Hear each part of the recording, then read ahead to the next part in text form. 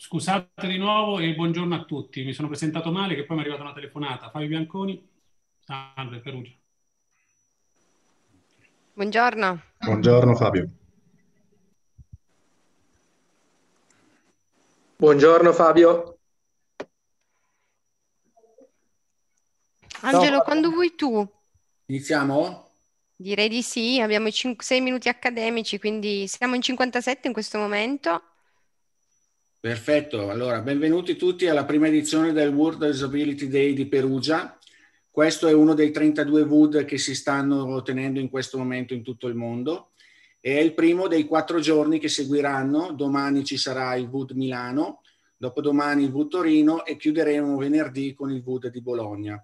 Questa è la prima edizione che facciamo totalmente in formato digitale e dove siamo riusciti a eh, fare questo format suddiviso in quattro giorni. Io sono Angelo Rondi e sono il presidente della sezione della SIE Umbria e Marche, Società Italiana di Ergonomia e Fattori Umani, eh, che è la protagonista di questa iniziativa multicittà. La SIE è una società scientifica che dal 1968 promuove in Italia l'ergonomia, disciplina di studio e intervento che ha come oggetto l'attività umana in relazione alle svariate condizioni in cui si sviluppa. Qui con me oggi abbiamo Tommaso Bellandi, che è il presidente della SIE nazionale, e Silvia Gilotta, che è presidente della SIE Piemonte. Insieme a loro, eh, Silvia è anche promotrice e organizzatrice di questa edizione del VUD, nonché delle ultime, penso, sette edizioni con eh, la SIE Piemonte. Ringrazio in particolar modo Silvia perché ci ha dato appunto l'opportunità di creare questo format soprattutto ci ha coinvolto come sezione Umbria Marche, essendo noi una sezione abbastanza giovane, esistiamo da penso neanche due anni e quindi siamo molto contenti di essere stati aggregati e coinvolti in questa iniziativa. Eh, quest'anno il VUD è dedicato all'intelligenza artificiale centrata sugli esseri umani. Questo tema ci ha permesso di lavorare su un argomento sul quale la nostra comunità di esperti, di professionisti e di ricercatori ha molto da condividere quindi tra poco inizieremo con eh, tutti gli interventi dei nostri relatori, che ringrazio già in anticipo. Desidero ringraziare anche tutti quelli che ci hanno dato e permesso la possibilità appunto di partecipare a questo VUD, quindi le persone che hanno lavorato insieme a me e insieme soprattutto a Silvia a realizzare gli eventi. Per la sezione Umbria Marche, eh, la sezione appunto ringrazio Fabio Bianconi, Marco Filippucci, Federico Terenzi, Silvia Bernardini, poi ringrazio Federica Masci, che è presidente della SIE Lombardia Liguria, tutto il team del VUD Milano, Giovanna Miranda, presidente della SIE Emilia Romagna, Antonella Frisiello, vicepresidente nazionale, e tutto il direttivo SIE che si è occupato appunto dell'organizzazione. Eh, passo a ringraziare anche in particolar modo gli sponsor. E quindi desidero esprimere il mio ringraziamento a tutte le realtà che hanno contribuito a realizzare questo eh, in alcuni casi anche precedenti VUD. Allora, partiamo con ringraziare ISNOVA, che è un istituto di ricerca indipendente che opera per indirizzare lo sviluppo di metodi dei prodotti e di studi innovativi nella produzione di beni e servizi. Con un approccio inter interdisciplinare sviluppano safety, security e human factor nel campo dei trasporti aerei, terrestri e marittimi, dell'energia, dell'agroalimentare e in qualsiasi contesto critico per la sicurezza delle persone e dell'ambiente. Ringraziamo Links Foundation che supporta il Vood Torino dalla prima edizione del, mille, del 2014. Ringraziamo User Experience Lab di Team con le ergonome che hanno sempre partecipato e realizzato il VUD Torino, quindi Antonella Roelle, Roella, Silvia Bonaventura, Elena Guercio, Margherita Penza. Ringraziamo il Virtual for You, network di ricerca sviluppato eh, e costituito da Skyrunner e dal DICA, che è il Dipartimento di Ingegneria Civile e Ambientale dell'Università di Perugia, che con una forte impronta sperimentale studia nuove tecnologie e gli impatti che questi hanno sui fattori umani, soprattutto nei processi di design e di trasformazione digitale. Ringraziamo Ludotic, che è basata a Nizza, ma ha anche sede a Milano, ed è nel settore delle user experience e del design centrato sugli utenti da ormai 16 anni, con 700 progetti di consulenza e di ricerca al suo attivo. Italiana è anche la CEO e co-founder Supertex ed italiani sono molti collaboratori e molti clienti.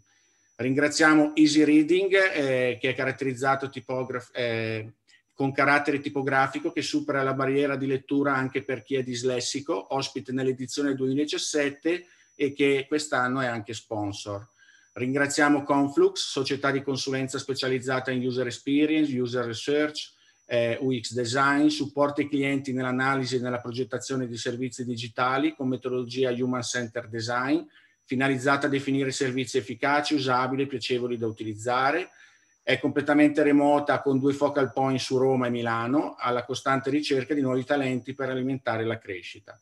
Ringraziamo Sinestesia e Digital Experience Company che supporta le aziende italiane in ambito di digital transformation, offrendo servizi di marketing, sviluppo di applicazioni digitali.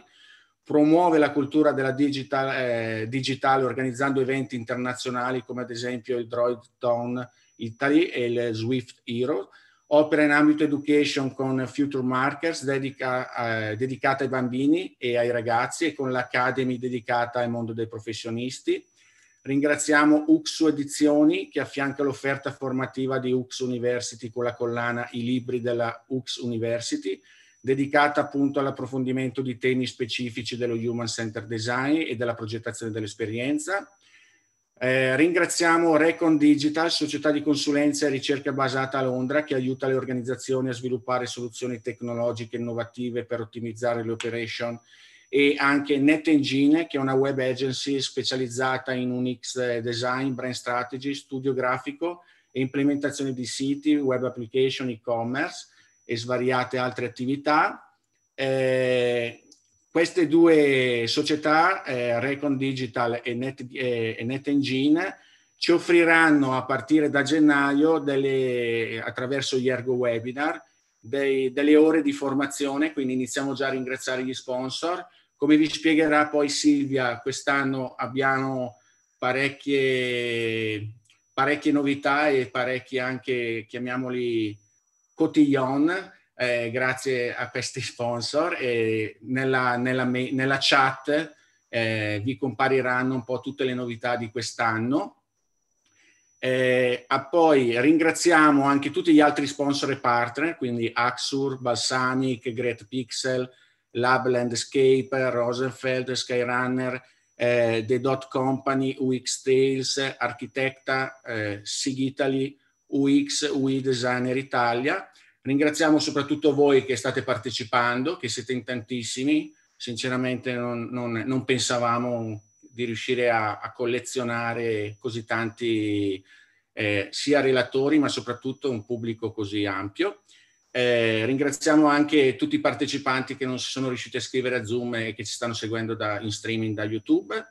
E in ultimo, ma non eh, meno importante, anzi, ringraziamo tutti i, rela- i relatori che hanno accettato l'invito per condividere con noi tutti il loro punto di vista sul tema centrale di questa iniziativa che è lo Human Center AI. Solo un secondo che ricondivido un altro schermo, così vi do le regole che useremo oggi. Allora, allora abbiamo disattivato i microfoni di ciascuno eh, per riuscire a gestire al meglio questa, questa conferenza. In caso di problemi vi consigliamo di provare a uscire e rientrare. Eh, potete fare un, qualsiasi domanda, vi chiediamo di postare la domanda nella chat e eh, uniremo le due chat, anche quelle di YouTube, quindi noi relatori vedremo tutte le chat e alla fine di ogni intervento eh, sceglieremo quelle più significative o quelle più calde e le gireremo ai relatori. È possibile quindi usare la chat per domande e osservazioni. Adesso io direi che passo la parola a Silvia e poi a Tommaso, giusto? O subito a Tommaso? Direi a Tommaso, io le comunicazioni le metto direttamente in chat, Angelo. Perfetto, allora passo la parola a Tommaso Bellandi, presidente della SIE nazionale. Grazie Angelo, grazie eh, Silvia, Federica, Giovanni, Miranda per aver organizzato con le quattro sezioni della SIE che si sono unite per questo meraviglioso uh, World Usability Days, questi, me, queste meravigliose giornate che quest'anno uh, siete riusciti ad organizzare in un periodo così difficile in cui è invece ancora più importante eh, trovarci per discutere, per confrontarci con contributi di alto valore come quelli che siete riusciti a mettere insieme. Eh, io giusto tre parole eh, che vorrei condividere con voi, con i relatori e con i partecipanti. Le tre parole sono eh, etica, ecologia e inclusione. Eh, sono tre parole che credo dovrebbero eh, ispirare, sostenere, informare ogni iniziativa di, eh, di design, di progettazione, ehm, intesa in un senso di, di usabilità, di progettazione eh, basata sui principi dell'usabilità e di progettazione di sistemi eh, di intelligenza artificiale che sono già molto pervasivi all'interno della nostra vita quotidiana.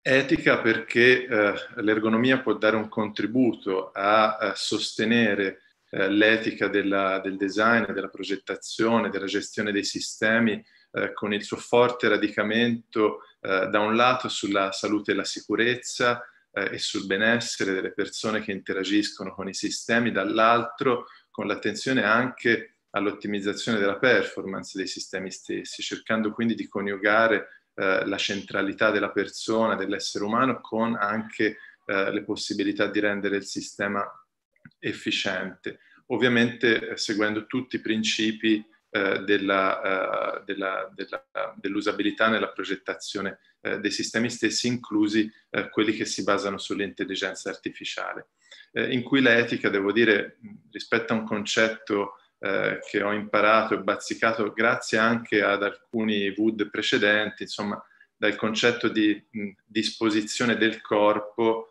e di quanto noi disponiamo nella nostra società e quanto eh, le norme etiche anche ci eh, consentono di disporre del nostro corpo, della nostra libertà di scelta, autonomia sul corpo, probabilmente dovremmo porci e rendere trasparente i principi su cui si basano le scelte relative alla disponibilità della nostra mente o dei nostri processi cognitivi superiori che sono fortemente eh, eh, coinvolti, ingaggiati dalle soluzioni di intelligenza artificiale che già abbiamo numerose eh, sui, nostri, sui nostri smartphone e che attraggono molta nostra energia, molta parte della nostra attenzione e delle nostre risorse.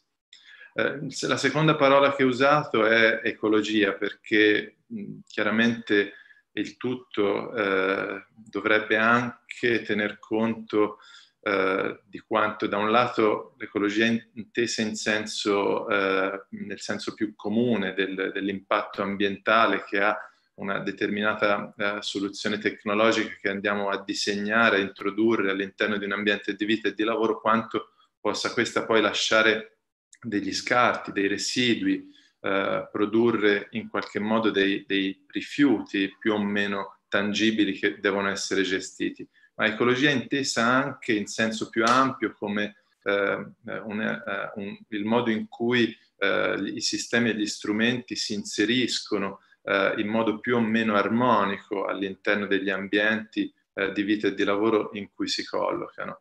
Eh, avremo delle relazioni molto interessanti al riguardo, il tema drammatico e dall'altro punto di vista entusiasmante a cui ci ha messo di fronte la pandemia e come anche eh, le trasformazioni degli ambienti di vita e di lavoro eh, sono, sono, state molto vorticose e dall'altra parte hanno aperto anche tante opportunità scacciando un po' di dinosauri che ci tenevamo nella stanza. La terza parola che ho usato è inclusione. Eh, è l'inclusione importantissima. Eh, oggigiorno eh, le tecnologie digitali, questa come quella che stiamo usando adesso, eh, oltre a servire a una comunità di, di, ricercatori, di professionisti, serve anche a tenere vicino le famiglie che stanno segregate per le misure di restrizione della mobilità, serve anche, anzi è l'unico modo che abbiamo potuto usare per far parlare i pazienti, le persone ricoverate nelle aree Covid con i propri cari compresi anche i più deboli, i più fragili, gli anziani, i bambini.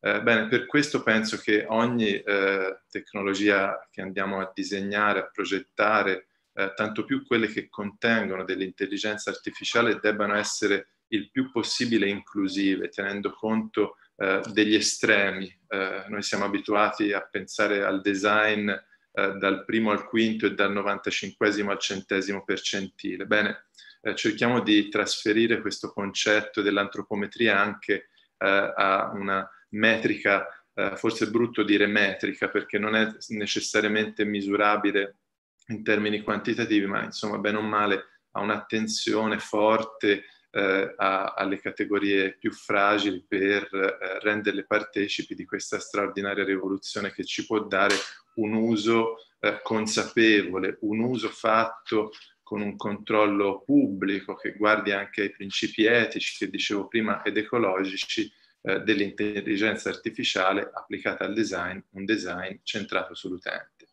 Eh, grazie a tutti per questo impegno e queste belle iniziative che cercherò il più possibile di seguire dalla trincea del Servizio Sanitario Nazionale nella quale mi trovo a lavorare cercando di portare un po' eh, delle buone idee che circolano eh, nell'ambito della, dell'ergonomia e di tutti gli amici, colleghi, eh, soci e vicini che abbiamo eh, per cercare di migliorare la sicurezza delle persone che assistiamo e la qualità dei nostri servizi anche in questi momenti così difficili. Grazie a tutti.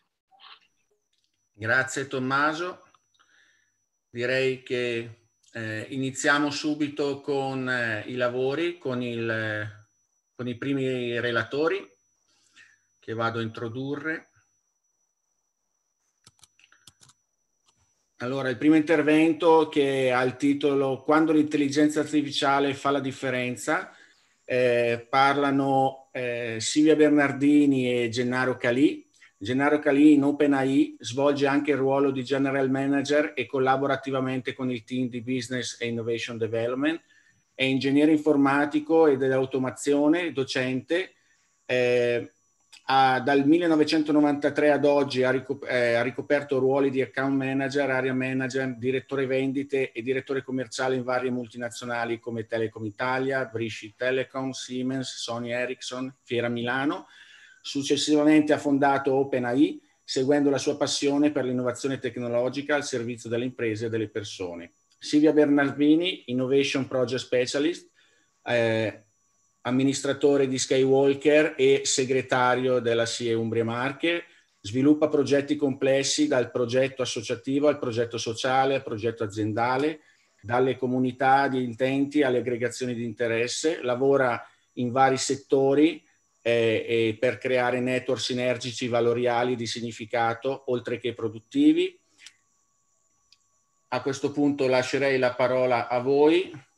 Ok. Grazie Angelo. E vi chiedo di collegarvi. Perfetto.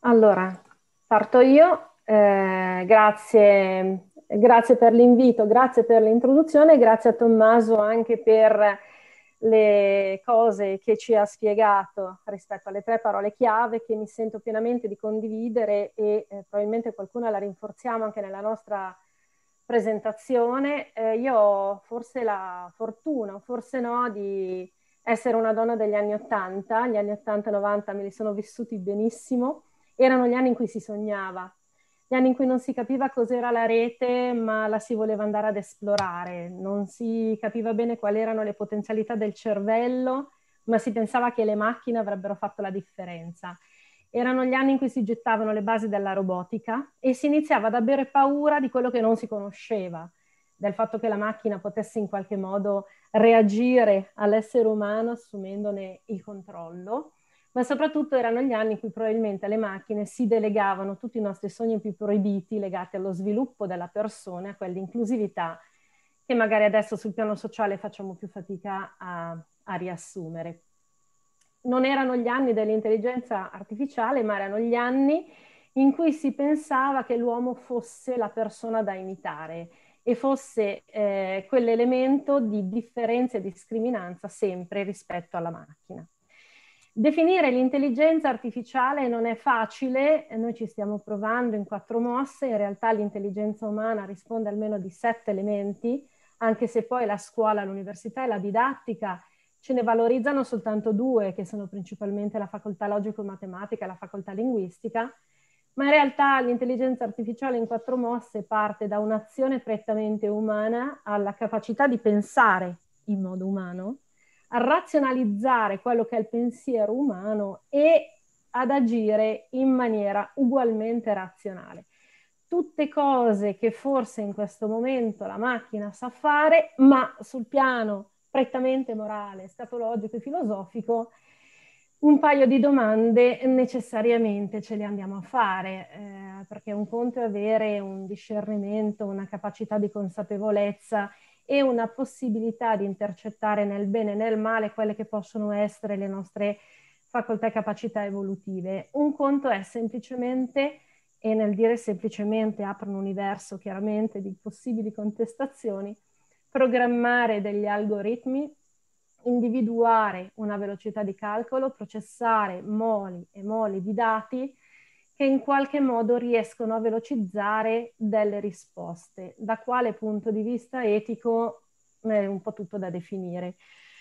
Diciamo che forse eh, non vorremmo trovarci in questo momento nei panni eh, di chi ha gestito il documentario Social Dilemma, attualmente online e molto visto, eh, rispetto al fatto che forse eh, il fatto di aver scoperto che mettere un like scatena un'endorfina a livello ormonale, quasi come il mangiarsi un cioccolatino, sta portando alcune grosse piattaforme che cercano di coinvolgere le persone in attività eh, più o meno discutibili, eh, manipolano un pochino tutto quello che potrebbe essere il nostro piano, ehm, il nostro piano della programmazione. Ecco perché è importante divulgare, conoscere e affrontare quelle che sono le tematiche effettive dell'intelligenza artificiale, perché la necessità è non cadere nella trappola della pigrizia, non cadere in quella zona di comfort dove la macchina mi fa tutto, ma ricordarsi che è l'intelligenza umana che sempre mi farà la differenza. E in questo valore fondante della eh, necessità di conoscere per gestire, OpenAI e Skywalker hanno trovato un grosso punto di contatto che ehm, è confluito in prima battuta in Company Brain, ossia in, una, ehm, in uno strumento che aiuta sul piano formativo ad affiancare, facilitare e divulgare queste tematiche e chiaramente a creare e co-creare progetti e prodotti che, ad esempio, hanno dato la loro prima eh, versione in OpenMall. Chiaramente se l'essere umano eh, si sviluppa e nasce intorno a un numero di intelligenze eh, diverse nell'ecosistema umanità e tecnologia, forse una delle domande che potremmo farci in attesa di capire bene come definire l'intelligenza artificiale è se parliamo davvero di intelligenza artificiale o forse in questo momento storico dove a causa di una leva completamente inaspettata ci siamo trovati catapultati in questi universi virtuali, non ha più senso magari parlare di intelligenze alternative. Ma qui lascio la parola agli esperti della complessità. E l'unica cosa di cui sono orgogliosa in questo momento e molto fiera di presentarvi è esattamente il concretizzatore di sogni, cioè il lavoro svolto in maniera egregia dal mio collega Gennaro Calì, che ha concretizzato tutte quelle che erano le mie aspettative di infanzia, dando eh, vita a Open Mall. Io interrompo la condivisione del mio schermo e lascio la parola al collega. Buongiorno a tutti, mi, eh, mi ricollego e mi aggrego ai saluti e ai ringraziamenti anticipati da, da Silvia. Ok, intanto che cos'è Open Mall? Open Mall è un social commerce totalmente gestito da, dall'intelligenza artificiale che attraverso una piattaforma 3D, eh, assistenti virtuali e eh, XR, quindi realtà mista, permette di eh, usufruire agli utenti e eh, ai merchant di una eh, esperienza unica e anche personalizzata. Quali sono il, i vantaggi della, della soluzione Open Mall? Sicuramente lato utente il riuscire a rispondere a quelle che sono oggi delle esigenze dell'utente, quindi delle risposte eh, veloci in, in, real time, eh, avere appunto, come si diceva, un'offerta personalizzata, eh, la possibilità di eh, utilizzare eh, eh, tecnologie, quindi strumenti innovativi come l'intelligenza artificiale, gli assistenti virtuali, eh, ma soprattutto anche la possibilità di una socialità, quindi la, la possibilità di condividere la propria esperienza anche con, con gli altri. Lato eh, merchant, quindi lato store, eh, sicuramente un, un'ambientazione dove l'e-commerce viene valorizzato da tecnologie altamente evolute ad un costo eh, totalmente accessibile, ma soprattutto eh, non avere una soluzione 2D, eh, permettetemi, spersa un po' nell'etere della rete, ma eh, un'ambientazione ed un contenitore dove milioni di persone con la possibilità di poterli raggiungere con strumenti di marketing e di engagement, eh, grazie anche agli strumenti di intelligenza artificiale, ci dà la possibilità quindi di eh, poterli eh, monetizzare in, eh, in pochissimo tempo. Oltre al fatto di avere una facilità di utilizzo e di configurazione del proprio store in questo tipo di ambientazione. Eh, passo, eh, se ci fosse stata la possibilità da parte vostra di utilizzare un Oculus o eventualmente un adattatore per smartphone in realtà virtuale, si sarebbe potuto vivere questa esperienza in maniera immersiva come se si fosse fisicamente nel centro commerciale.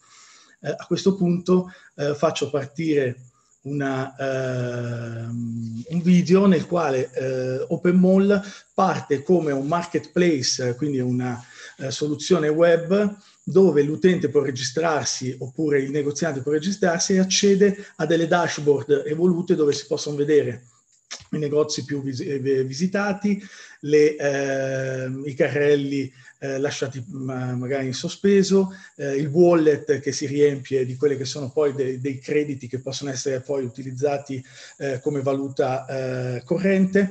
Questa invece è la possibilità con un tasto di entrare nella, nell'esperienza immersiva possiamo vedere come la, diciamo, l'esperienza è molto fluida, è utilizzabile da qualsiasi device, quindi eh, smartphone, smart TV, eh, desktop, eccetera.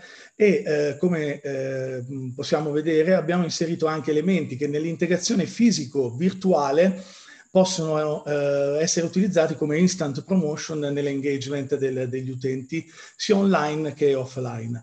Eh, per rispettare eh, un po' la eh, il, il classica ambientazione di un centro commerciale, abbiamo inserito anche il cinema, quindi con la possibilità di entertainment eh, direttamente all'interno di questo tipo di ambientazione e pensiamo quindi anche alla possibilità di eh, avere ehm, contenuti rilasciati da player che rilasciano appunto i contenuti streaming anche quello di vedere, oltre al, al cinema, con un visore, eh, godersi eh, il film direttamente come se fosse nella sala cinematografica, ma soprattutto anche la possibilità di condividerla con gli amici e quindi di commentarla in, in real time. Eh, qui l'ambientazione ovviamente dà la possibilità di muoversi all'interno di tutti gli store eh, possibili. Eh, in un momento di, di, che purtroppo di come quello che stiamo vivendo, una soluzione di questo tipo dà la possibilità di permettere una uh, continuità della relazione con i clienti, ma soprattutto anche uh, delle vendite. Uh, un esempio molto, ehm, diciamo, eh, calzante potrebbe essere quello in maniera molto molto evoluta perché le referenze sono tantissime di un eh, supermercato dove io ho la possibilità purtroppo essendo immobilizzato a casa noi siamo in una zona rossa oggi quindi la possibilità di fare la spesa come se fossi fisicamente nel, nel supermercato, quindi eh, gestirmi il carrello, eh, mettere i prodotti, ma lo faccio in una maniera totalmente innovativa grazie ad assistenti virtuali antropomorfi di intelligenza artificiale. Qui abbiamo visto che ovviamente la, la, la soluzione è provvista anche di menu interattivi, ma l'utilizzo di, come state vedendo adesso, di assistenti virtuali ovviamente permette eh, un'esperienza dove l'utente è accompagnato negli acquisti nella maniera più naturale possibile, ovvero dialogando con l'assistente virtuale. A, a questo punto io invece di avere eh, a volte eh, difficoltà nell'individuare il prodotto di mio interesse in siti dove sono necessari filtri o diversi passaggi per arrivare a ciò che mi, inter- a, a ciò che mi interessa, qui posso chiederlo direttamente quindi voglio eh, comprare un vestito, eh, lo voglio di colore nero, mi vengono proposte tutta una serie di eh, possibilità e ovviamente sistemi di questo tipo eh, basati poi su eh, algoritmi di deep mining eh, e di profilazione ovviamente della, della, del customer journey dell'utente, l'assistente virtuale è proattivo e quindi può fare anche upselling, quindi suggerire altre, altre soluzioni. Ovviamente il tutto non in maniera, eh, to, eh, in maniera invasiva, ma eh, lato eh, mappatura di quelle che sono le preferenze, i gusti degli utenti, il sistema lascia libertà all'utente di quelle che sono le, eh, le, informazioni di cui poi il sistema deve, eh, deve, eh, ha la possibilità di, di utilizzare e lo può fare anche in maniera anonima.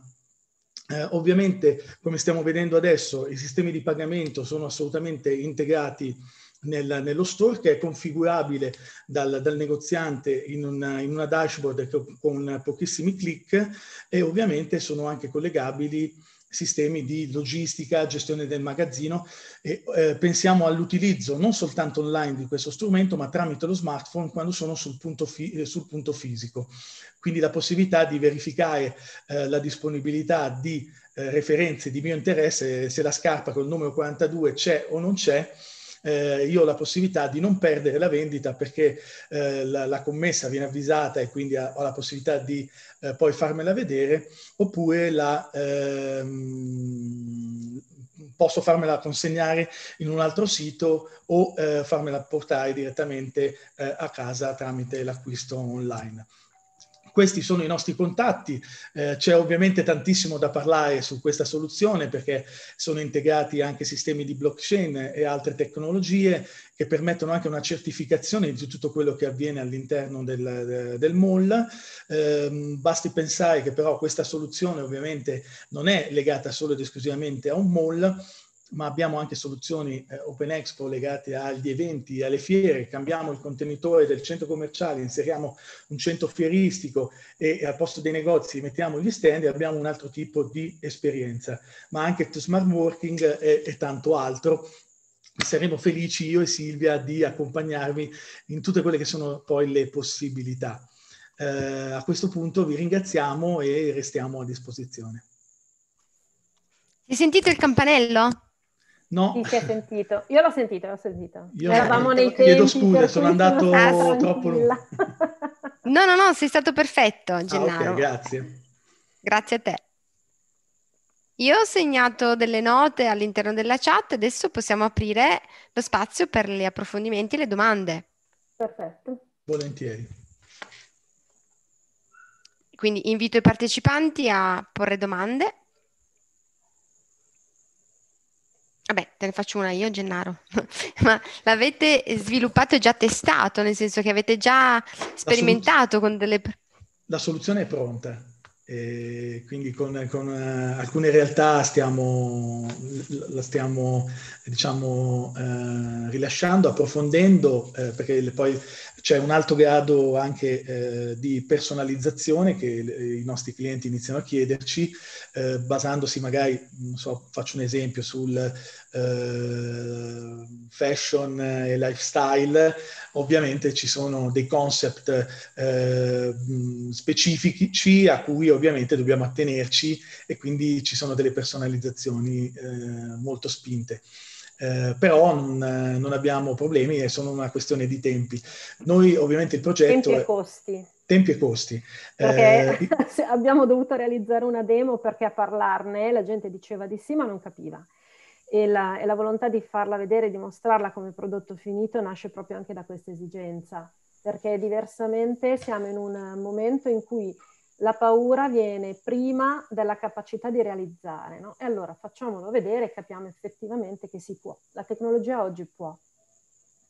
Aggiungo solo che abbiamo cercato di andare incontro poi alle diverse possibili esigenze, eh, creando anche un sistema modulare tutto il sistema sulle varie tecnologie si integrano con dei microservizi, quindi un cliente può chiedere ehm, un servizio base, un servizio più evoluto, un servizio alto performante e poi integrare tutta una serie di... Ehm, di possibili altri servizi, come l'assistente virtuale, gestione di magazzino, integrazioni col proprio o col nostro e-commerce già all'interno della piattaforma, gestione logistica nelle, tramite gli agreement che abbiamo, oppure eh, possiamo utilizzare poi la sua.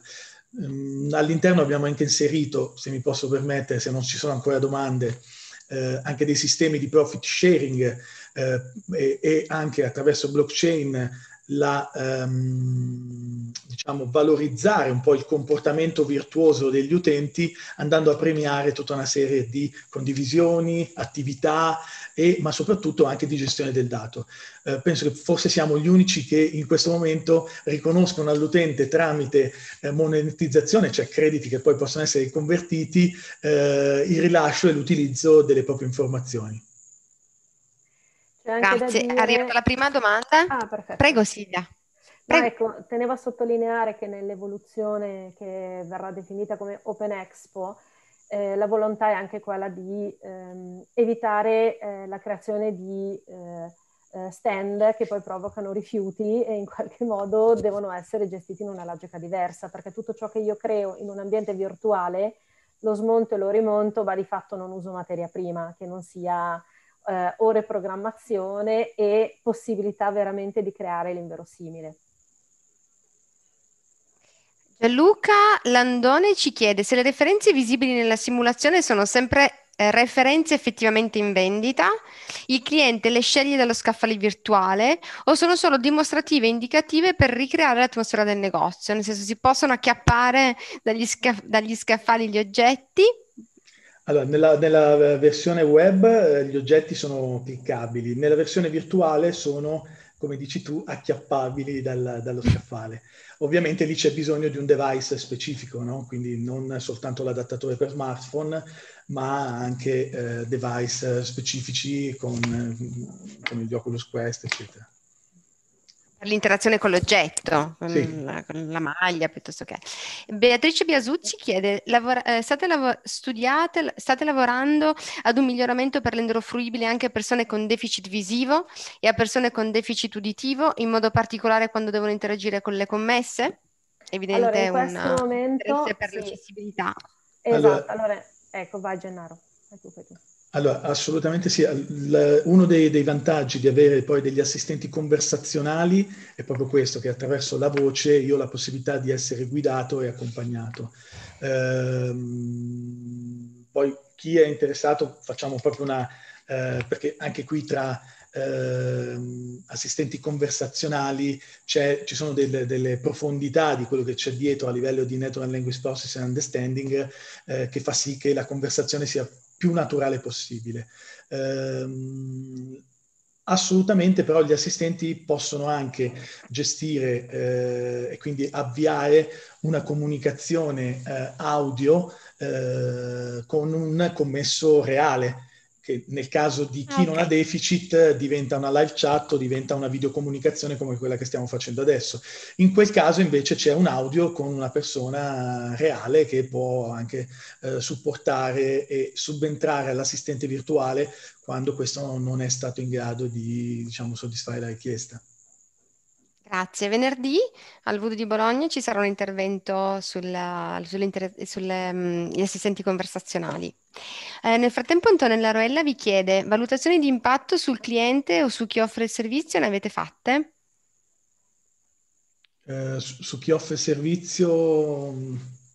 Nel senso sul cliente finale, immagino, o sul negoziante, cioè sul, sugli attori, sul, sugli attori principali okay. dello allora, scenario? Noi abbiamo fatto ovviamente un'analisi e quindi su quelli che sono tutti i trend eh, attuali. Questo progetto nasce da, da qualche anno, non è, non è diciamo eh, recente, ma siamo riusciti a fare tutto quello che un po' nel, negli anni passati avevamo immaginato potesse essere il futuro, come lo era da ragazza Silvia che vedeva tutte quelle, tutte quelle eh, diciamo, quelle anticipazioni. Okay, quindi l'abbiamo messo a terra e ehm, abbiamo, um, oggi vediamo che quei trend che noi avevamo solo immaginato sono una realtà, quindi assistenti conversazionali antropomorfi sono una realtà, eh, la mappatura di quello che sono i comportamenti e un certo tipo di interazione sono una realtà, la realtà virtuale sta diventando una realtà, scusatemi il gioco sì. di parole, di conseguenza... Ho, ecco Gennaro, se ho capito correttamente la domanda e mi permetto di intervenire, stiamo ragionando su facilitazione all'impatto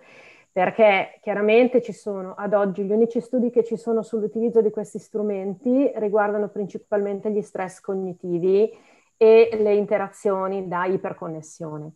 Quello che manca, ed è poi lo scopo di Company Brain, è di accompagnare le persone in questi strumenti in una logica di non, eh, diciamo, ansia da click che scatena quella necessità di ipercollegamento che poi porta un po' fuori strada rispetto a quello che abbiamo raccontato prima, ma la possibilità di gestire questi strumenti in una logica quasi di normalità. Quindi su questo, questo è probabilmente il grosso lavoro da fare da qui ai prossimi due o tre anni. Grazie. Era questa probabilmente la, la domanda, se non ho capito male dovrebbe essere nel caso che sì sì dice esatto Gabriella Menduni che tra l'altro è una relatrice che sentiremo più tardi chiede eh, dice una curiosità rispetto agli assistenti virtuali avete previsto la possibilità di, sceglie, di poter scegliere tra differenti avatar? Sì, come dicevo prima, la, la piattaforma prevede una dashboard del, del negoziante che può eh, configurare il suo personal shopper in, come vuole. Eh, c'è la possibilità anche di autodigitalizzarsi. Se gli utenti, eh, pensiamo a un'integrazione tra fisico e virtuale di un centro commerciale vero, è abituato ad interagire con la commessa che conosce eh, diciamo bene, possiamo digitalizzare anche la commessa. Quindi assolutamente sì, c'è una, un alto grado di personalizzazione maschile, femminile, voce e multilingua. Oggi sono disponibili nove lingue le più principali, anche perché il Natural Language Processing alla base del, del sistema conversazionale è dedicato sulla singola lingua, non ci sono API di translation. Ok, grazie. Uh, per adesso non ci sono altre domande, in ogni caso magari vi intrattenete fino alla fine della, della sessione, certo. quindi se ne arrivano altre ve le, okay. ve le trasferisco. E quindi Angelo, io ti passerei la parola per andare al prossimo relatore. Perfetto.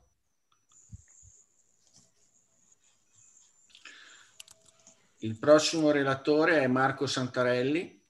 Il suo intervento si intitola Intelligence delle cose, algoritmi e UMINT nell'analisi sulla sicurezza. Faccio una veloce presentazione di Marco. Allora, Marco ha un curriculum abbastanza lungo, però ho cercato di fare una sintesi. Marco, perdonami eh, capo dipartimento di scienze dell'uomo e sociali, responsabile laboratorio ICT Lab, laboratorio Intelligence, Complexity e Communication, membro del Comitato Scientifico Artistico Socioculturale Dipartimentale per la Cibernetica e presidente della Commissione Ricerca e docente di Design Management in Poliarte, Politecnico delle Arti Applicate all'Impresa. È anche responsabile dei progetti di ricerca del CNR e SC, Poliarte, accordo di collaborazione scientifica in ambito della complessità applicata all'ingegneria e alle scienze sociali, direttore scientifico Res One Network in Londra e Fondazione Margherita Hack, docente universitario di Intelligence, Big Data e Data Science, Master Cyber Ergonomy in teoria delle reti, cibernetica, intelligence predittiva e human intelligence. Eh, passo la parola a Marco, ma prima eh, facciamo vedere un, mostriamo un video che anticipa un po' il suo intervento. Diciamo che il tuo bersaglio è un equivoco banchiere iraniano che opera da Beirut. Ok, tu tieni sotto controllo le sue cose, ma stai sorvegliando anche tutte le persone con cui parla. Compreso, che ne so, suo cugino, che è solo un dentista che vive a Buffalo. E allora tu devi sorvegliare anche tutti i suoi contatti. E quando arrivi al terzo passaggio dal tuo obiettivo iniziale, stai sorvegliando una barista che chiacchiera di Botox con la madre. Perché a tre passaggi da chiunque abbia, diciamo, 40 contatti, stai controllando due milioni e mezzo di persone.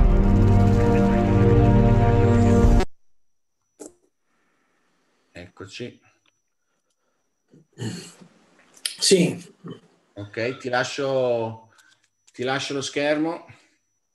Grazie. E io, ehm, come eh, ho anticipato, non ho slide, cerco di essere molto, molto veloce, più che altro per ehm, raccontare un po' l'esperienza che parallelamente al concetto di design, al concetto di ergonomia, ma anche quello di ermeneutica e semiotica, si sta facendo in alcuni ambiti proprio per farci capire come la parte della centralità dell'uomo nel, nel concetto contemporaneo diventa sempre più preponderante, ma eh, ovviamente ringrazio tutti, tutti, voi, tutta l'organizzazione, eh, ringrazio anche della mh, perfezione dell'organizzazione del, eh, del, di, di, tutto il comitato, perché mi pare di aver capito che siete come un comitato, comitato molto importante, quindi eh, sono anche onorato di, di, di, essere qui, questo lo dico con, con, con estrema con estrema sincerità.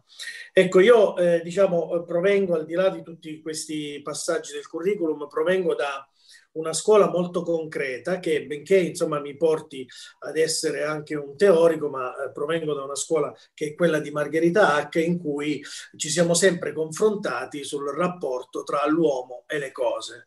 In realtà eh, questo percorso è nato con la cibernetica ed è nato negli anni 50 e il rapporto che mm, io eh, studio oggi anche attraverso eh, le attività che faccio con vari ministeri della difesa è proprio la capacità di reazione dell'uomo nel, nel percorso e nel progressivo espandersi della tecnologia.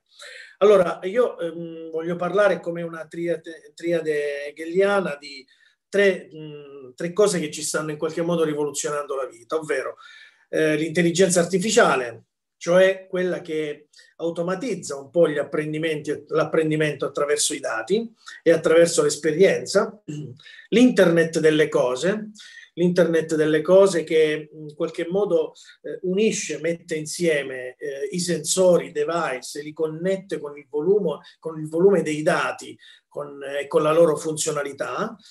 E poi quello che insomma io ho ho seguito in questo periodo anche abbastanza angosciante per noi anche del lockdown è lo sviluppo del 5G, ovvero la capacità di trasmettere i dati da un punto A a un punto B eh, in maniera più veloce, tutti dicono con meno latenza, la meno latenza vuol dire con eh, meno lentezza, diciamo così, e meno ehm, più spazio rispetto al passato, creando la cosiddetta questa triade, diciamo così permettetemi di chiamarla hegeliana, la possiamo chiamare digital transformation. La digital transformation è diventata non più un fattore squisitamente tecnologico come era eh, qualche, come, come si diceva qualche tempo di visionari che guarda la realtà e la tramano attraverso un approccio di design, un approccio grafico, un approccio di realtà aumentata,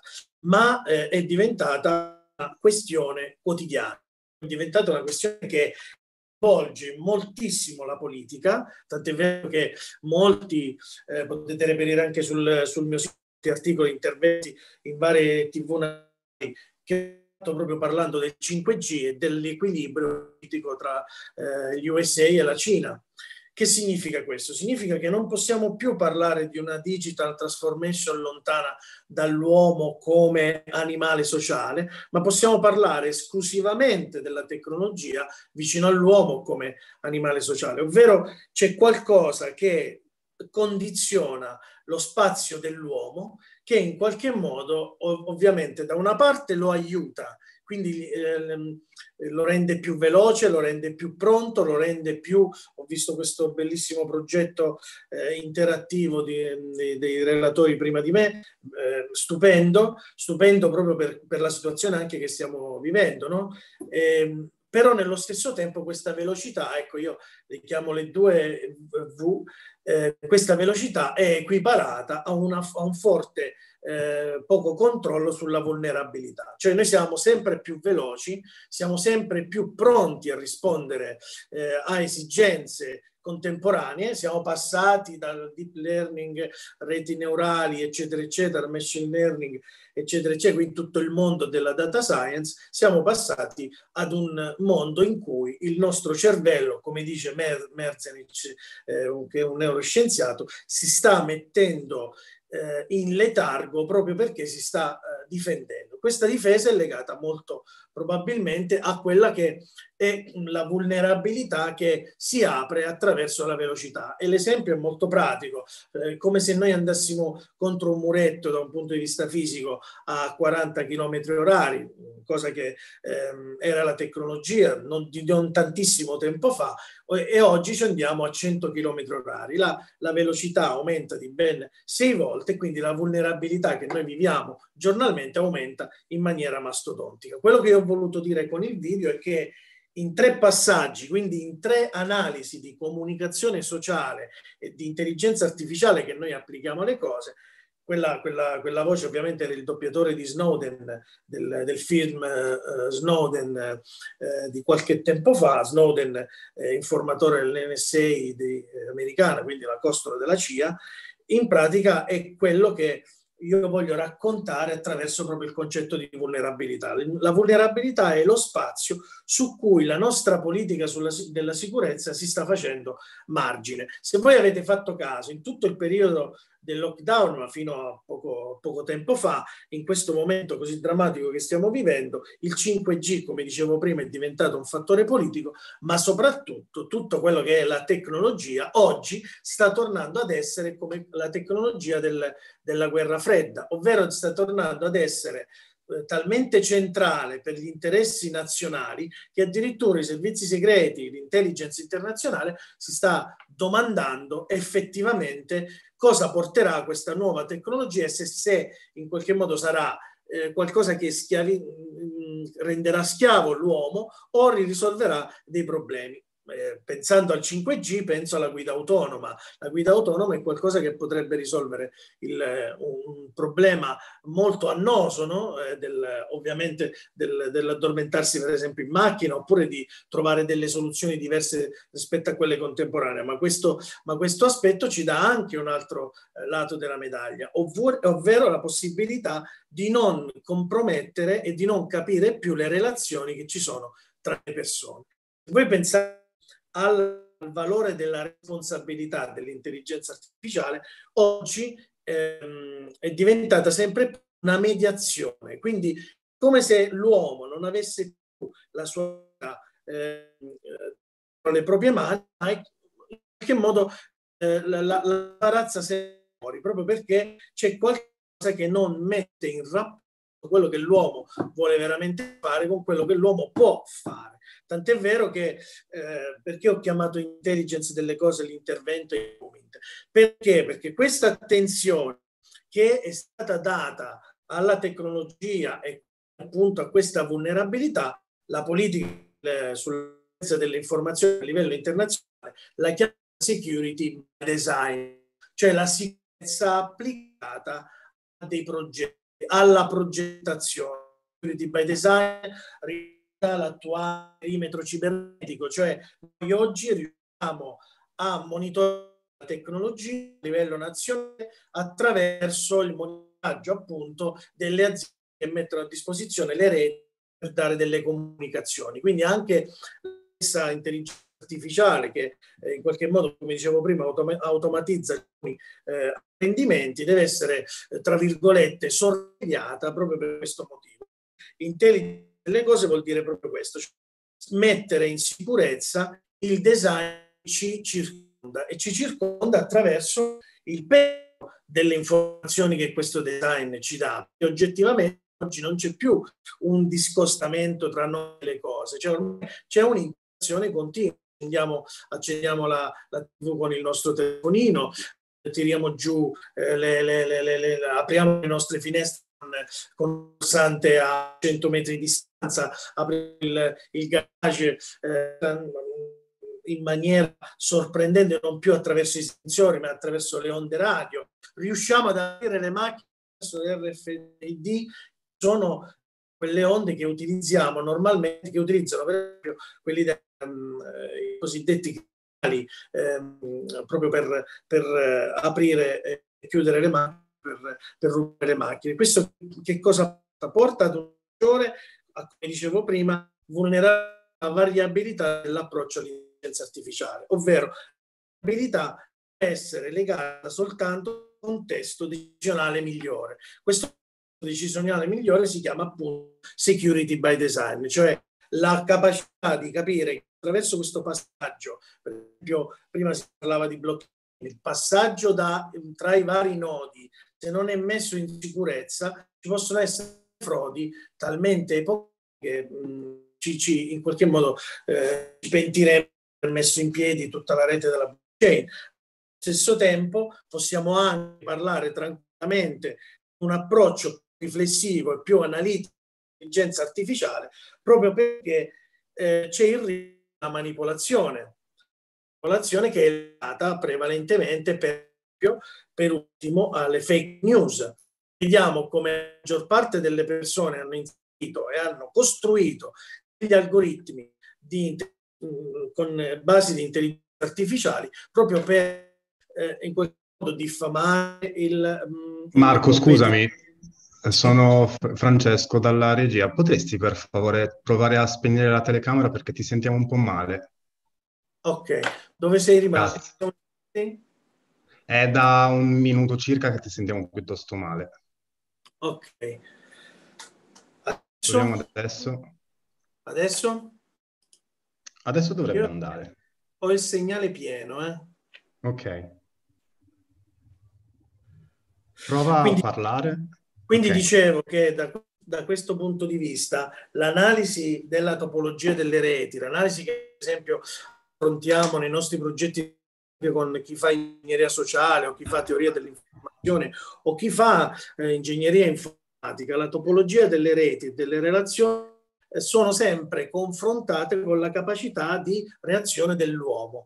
Infatti, eh, la seconda parte del mio intervento parla proprio di intelligence, cioè tutta la parte, per esempio, dell'intelligence internazionale, mentre per, per capire come avvenivano le più grandi scoperte a livello tecnologico, comunque come avvenivano le scoperte e le innovazioni, utilizzavano la rete di relazioni tra le persone o proprio grazie a questo approccio di security by design, ehm, in qualche modo vengono, vengono prese in considerazione, considerazione le parti più meccaniche e quindi artificiali, quindi alla, all'analisi di human intelligence, quindi analisi delle relazioni umane necessarie, fondamentali ancora per cosa sono gli elementi di tecnologia, ehm, eh, accostiamo quella che è cosiddetta l'analisi OSINT, open source intelligence, cioè noi riusciamo a mettere vicino tutta una serie di attività che prendiamo attraverso appunto l'intelligenza artificiale e tutta la parte degli algoritmi. Questo ci deve in qualche modo portare a quello che Floridi chiama l'on eh, life, eh, eh, quello che dicevo prima, a un atteggiamento più riflessivo, analitico per rimettere dentro l'uomo, poi eh, ha più volte detto no, per esempio. Io non so se sentite bene, più o meno per essere arrivato anche al tempo fissato per eh, la... Hai ancora dei minuti, Marco, grazie. Ti sentiamo un po' meglio, forse il movimento del microfono.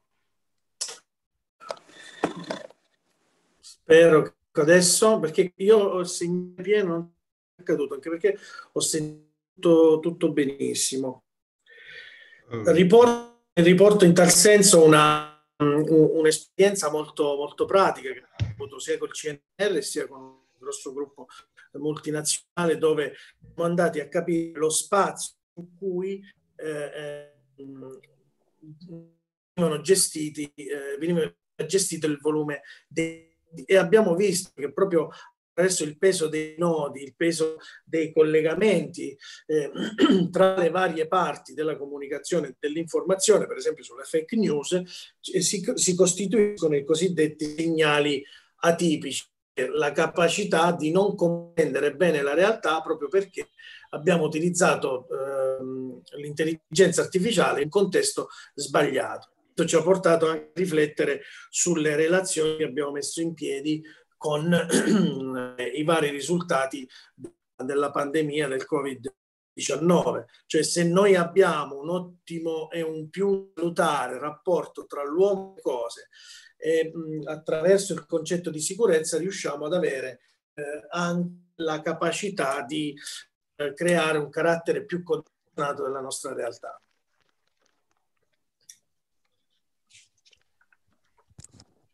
Eh, mi sentite? Sì, sì, sì. sì, sì, ah, sì. Ecco, perfetto. No, perché ho sempre paura che cada perché mi si è abbuiato, mi si è abbuiato, mi si è abbuiato tutto. Quindi, insomma, ehm, eh, posso concludere oppure... Ego, ho, certo. Ho perso proprio la cognizione che vedo tutto nero adesso nello schermo. Quindi, Guarda, che... Angelo deve aver condiviso la tua slide iniziale di presentazione e quindi noi vediamo la, la, tua immagine. Vai pure alla conclusione, ci sono ancora qualche minuto, c'è ancora qualche minuto e, e poi apriamo per le dom- alle domande. Grazie. Ok, eh, concludo dicendo una cosa molto, eh, molto importante in questo senso, quello che noi andiamo a, a fare, quello che, noi, eh, che, che, poi è la nostra responsabilità ed è la responsabilità in generale del futuro, è monitorare i cosiddetti processi di ibridazione, cioè i processi di ehm, unione tra le varie ehm, minacce e ovviamente eh, prima, parla, prima sentivo parlare di risk management e di attività legate alla prevenzione della crisi. Quindi tutto quello che riusciamo a mettere insieme attraverso per esempio l'intelligence predittiva con degli algoritmi che mettono che legano la parte del, delle relazioni umane con la parte delle relazioni artificiali che come ho detto prima si chiama OSINT è il nostro obiettivo, ovvero l'obiettivo di monitorare puntualmente sempre tutto ciò che può portare del danno attraverso dei procedimenti che poi non vengono utilizzati nella maniera giusta proprio sul, sull'argomento dell'intelligenza artificiale. Ho, ho concluso, se mi sentite. Chiedo sì. scusa, io non... Sì. Ehm, sembra stranissimo perché eh, di solito qui ho sempre mh, perfetto approccio. Apriamo le domande. Angelo, mi senti? Sì, sì, ti sentiamo, ti okay. sentiamo. Allora, diamo spazio alle domande.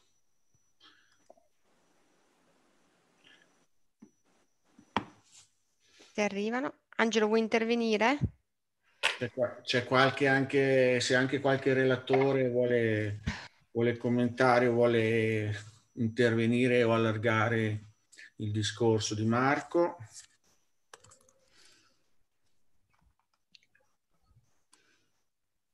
In ogni caso, a me viene da dire che una delle parole chiave che, chiave che, che emerge è controllare, no?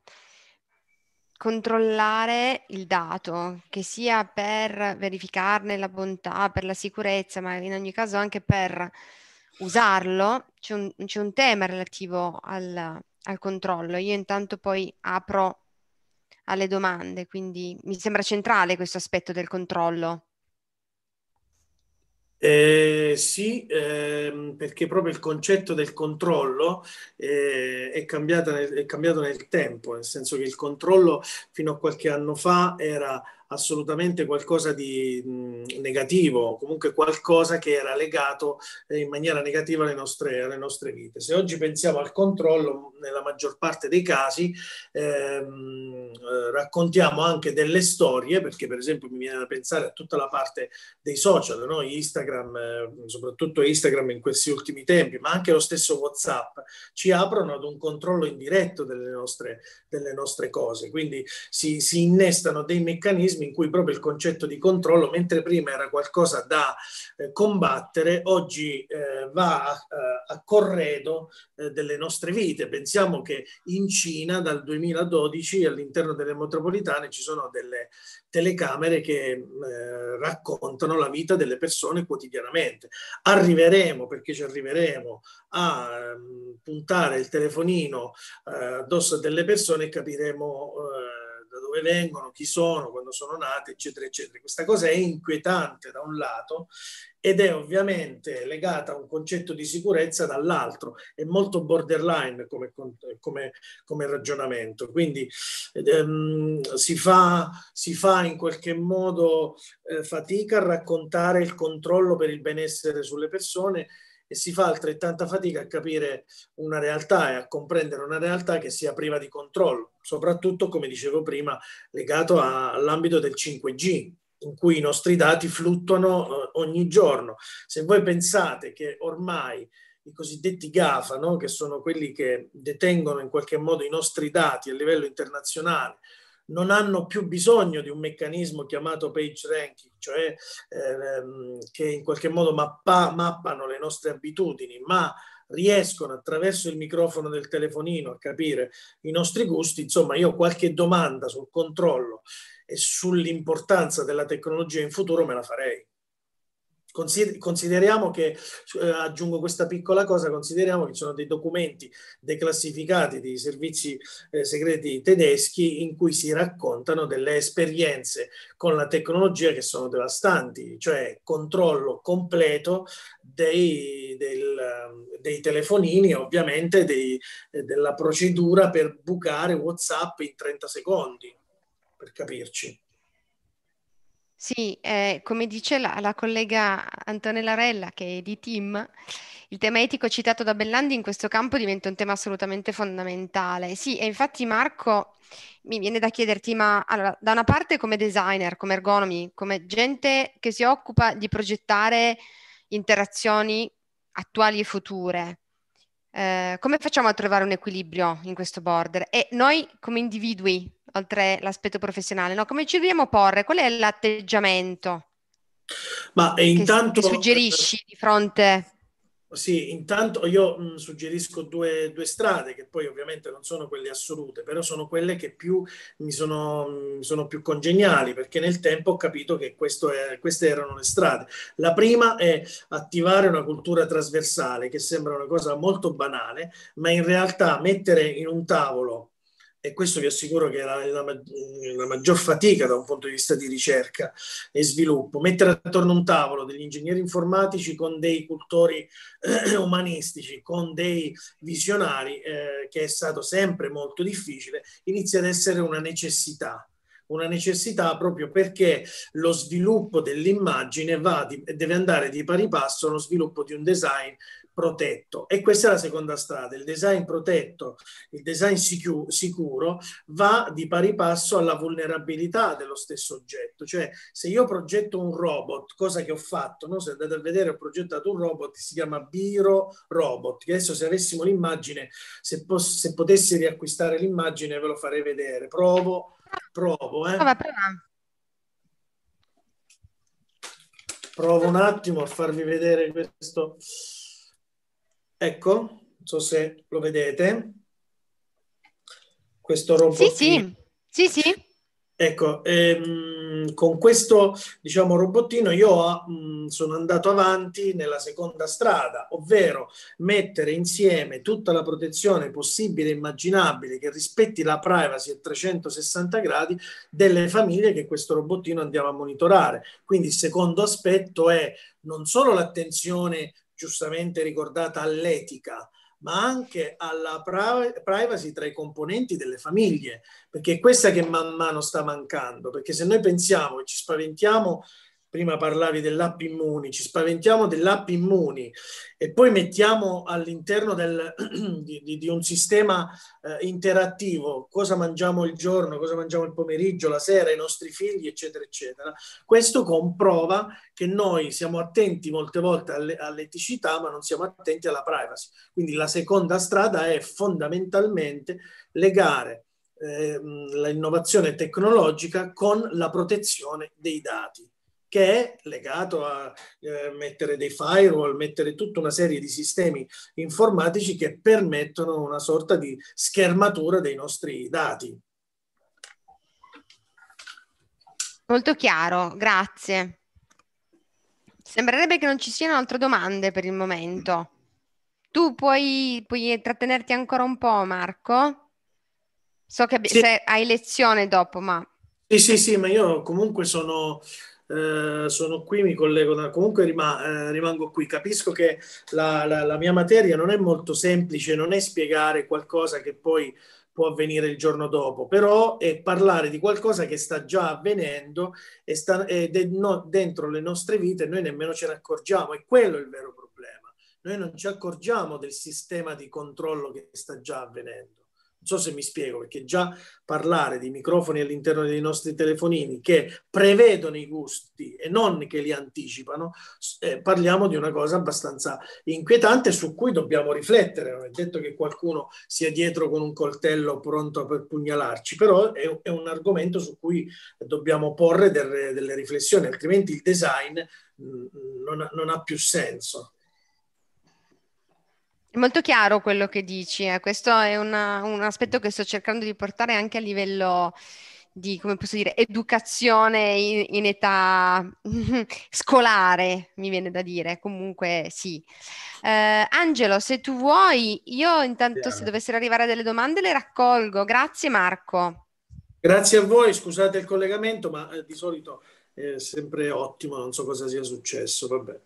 Grazie Marco. Grazie. A voi. Introduciamo il prossimo relatore che è Matteo Moretti. Il suo intervento si intitola Let's Open the Open Data. Eh, Matteo è un premiato designer e cofondatore di Sheldon Studio, il primo studio che si concentra sulla progettazione di esperienze immersive attraverso l'uso dei dati. Matteo Moretti è docente presso la Facoltà di Design della Libertà Università di Bolzano, presso l'Università di San Marino di Firenze, presso la Scuola Politecnica di Milano e guest professor al MAD, il Master di Data eh, Design dell'Elisava di Barcellona. Nel 2020 ha conseguito l'abilitazione scientifica nazionale come professore associato. Eh, è cofondatore della piattaforma di ricerca sul giornalismo visivo, eh, dove riunisce i lavori dei suoi studenti e di designformigration.com, la prima piattaforma che raccoglie progetti di design legati ai recenti fenomeni migratori europei. Allora direi che eh, passerei subito la parola a Matteo. Ci sei? Ok, sì, ciao, mi sentite? Sì. Mi sentite? Sì, Funziona il microfono, che è, un, sì, sì. che è, un, classico del microfono. Ok. Ma non è la allora... maglietta giusta però, Matteo. Eh, non è... Dopo vedrò di... Adesso non so cosa ho sotto, aspetta, no, non è quella. Purtroppo deluderebbe, sarebbe inferiore come stile, quindi evitiamo. E passo a condividere lo schermo. Siccome quando condivido poi non vedo più la, la, finestra di Zoom, qualsiasi cosa appunto la camera non andasse, ci fosse un'interferenza, entrate pure a gamba tesa senza problemi che apprezzerò e capirò. Grazie a te. Allora, allora share screen. Allora, ok, desktop 2. Ok, eccoci qua. Dovreste vedere adesso la, la schermata, giusto? Sì, sì, sì, sì. Ok. Allora, buongiorno a tutti, anzi quasi buonasera. Mi chiamo appunto Matteo Moretti, sono un docente designer E oggi vorrei parlarvi della necessità di abilitare un numero più ampio di persone, un po' quello che poi risuonava anche nell'intervento precedente, alla comprensione dei dati, l'importanza che i dati ricoprono appunto nella, nella nostra vita. L'esempio più evidente è quello durante, attualmente durante la, il lockdown e le, la pandemia, come i dati determinano anche la nostra libertà di, di spostamento di riappropriarci delle, delle, vite come facevamo una volta. E L'Italia però diciamo, non è l'unica, come si diceva nell'altro intervento ancora, ma è tra i paesi con il più alto tasso, ad esempio, di analfabetismo funzionale, analfabetismo anche grafico e statistico, e questo ovviamente è un problema perché capire i dati significa eh, comprendere anche la realtà che ci circonda. E nonostante i dati poi sempre più spesso vengano pubblicati in formato aperto, i cosiddetti open data, quello che noi stiamo cercando di fare è far sì che questi dati aperti siano realmente aperti. Intendo che non siano solo accessibili agli addetti ai lavori, ma che siano accessibili a un pubblico più ampio, perché altrimenti la trasparenza senza accessibilità è un'occasione persa. E su questa riflessione, diciamo un anno fa, abbiamo aperto il nostro studio che si chiama Sheldon Studio, che sin dalla home page parla di esperienze informative eh, brevemente che cosa intendiamo con esperienze informative. Eh, consideriamo ad esempio appunto quello che compone la parola. Da un lato abbiamo le informazioni, dall'altro le esperienze. Le informazioni sono per antonomasia indirette, nel senso che vengono prodotte, scritte da qualcuno, noi le leggiamo, le ascoltiamo, le guardiamo. Dall'altro lato invece abbiamo le esperienze, che è esattamente l'opposto, sono dirette, ci colpiscono in prima persona eh, passano attraverso il nostro corpo e soprattutto abbiamo anche un ricordo di queste esperienze, che positivo o negativo che sia. Quindi con esperienze informative noi definiamo tutti quei progetti non solo che connettono il mondo delle informazioni a quello delle esperienze, ma anche che cercano di diminuire questa distanza.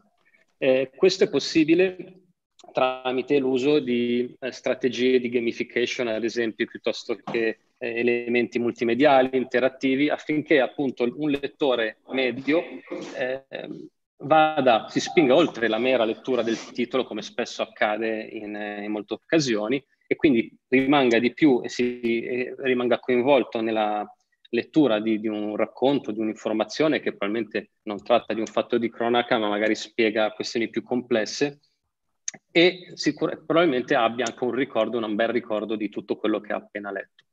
L'obiettivo ovviamente è abilitare un maggior numero di persone alla comprensione della natura complessa della realtà, che vuol dire, attenzione, non che abbiamo la presunzione di dire adesso vi raccontiamo la complessità, perché come sappiamo è praticamente impossibile, ma almeno far capire alle persone che molto spesso le questioni di cui si parla sono complesse e non è possibile ridurle a un bianco e un nero come spesso viene fatto in molte rappresentazioni e in molti racconti, ma ci sono le famose milioni di sfumature e un po' questa immagine lo riassume. Da un lato abbiamo questa immagine bellissima di, di gelato a, a, forma di Spider-Man, perfetto, poi non so se vi è mai capitata un'esperienza del genere o anche peggiore quando comprate qualcosa e poi è molto diverso dalle vostre aspettative.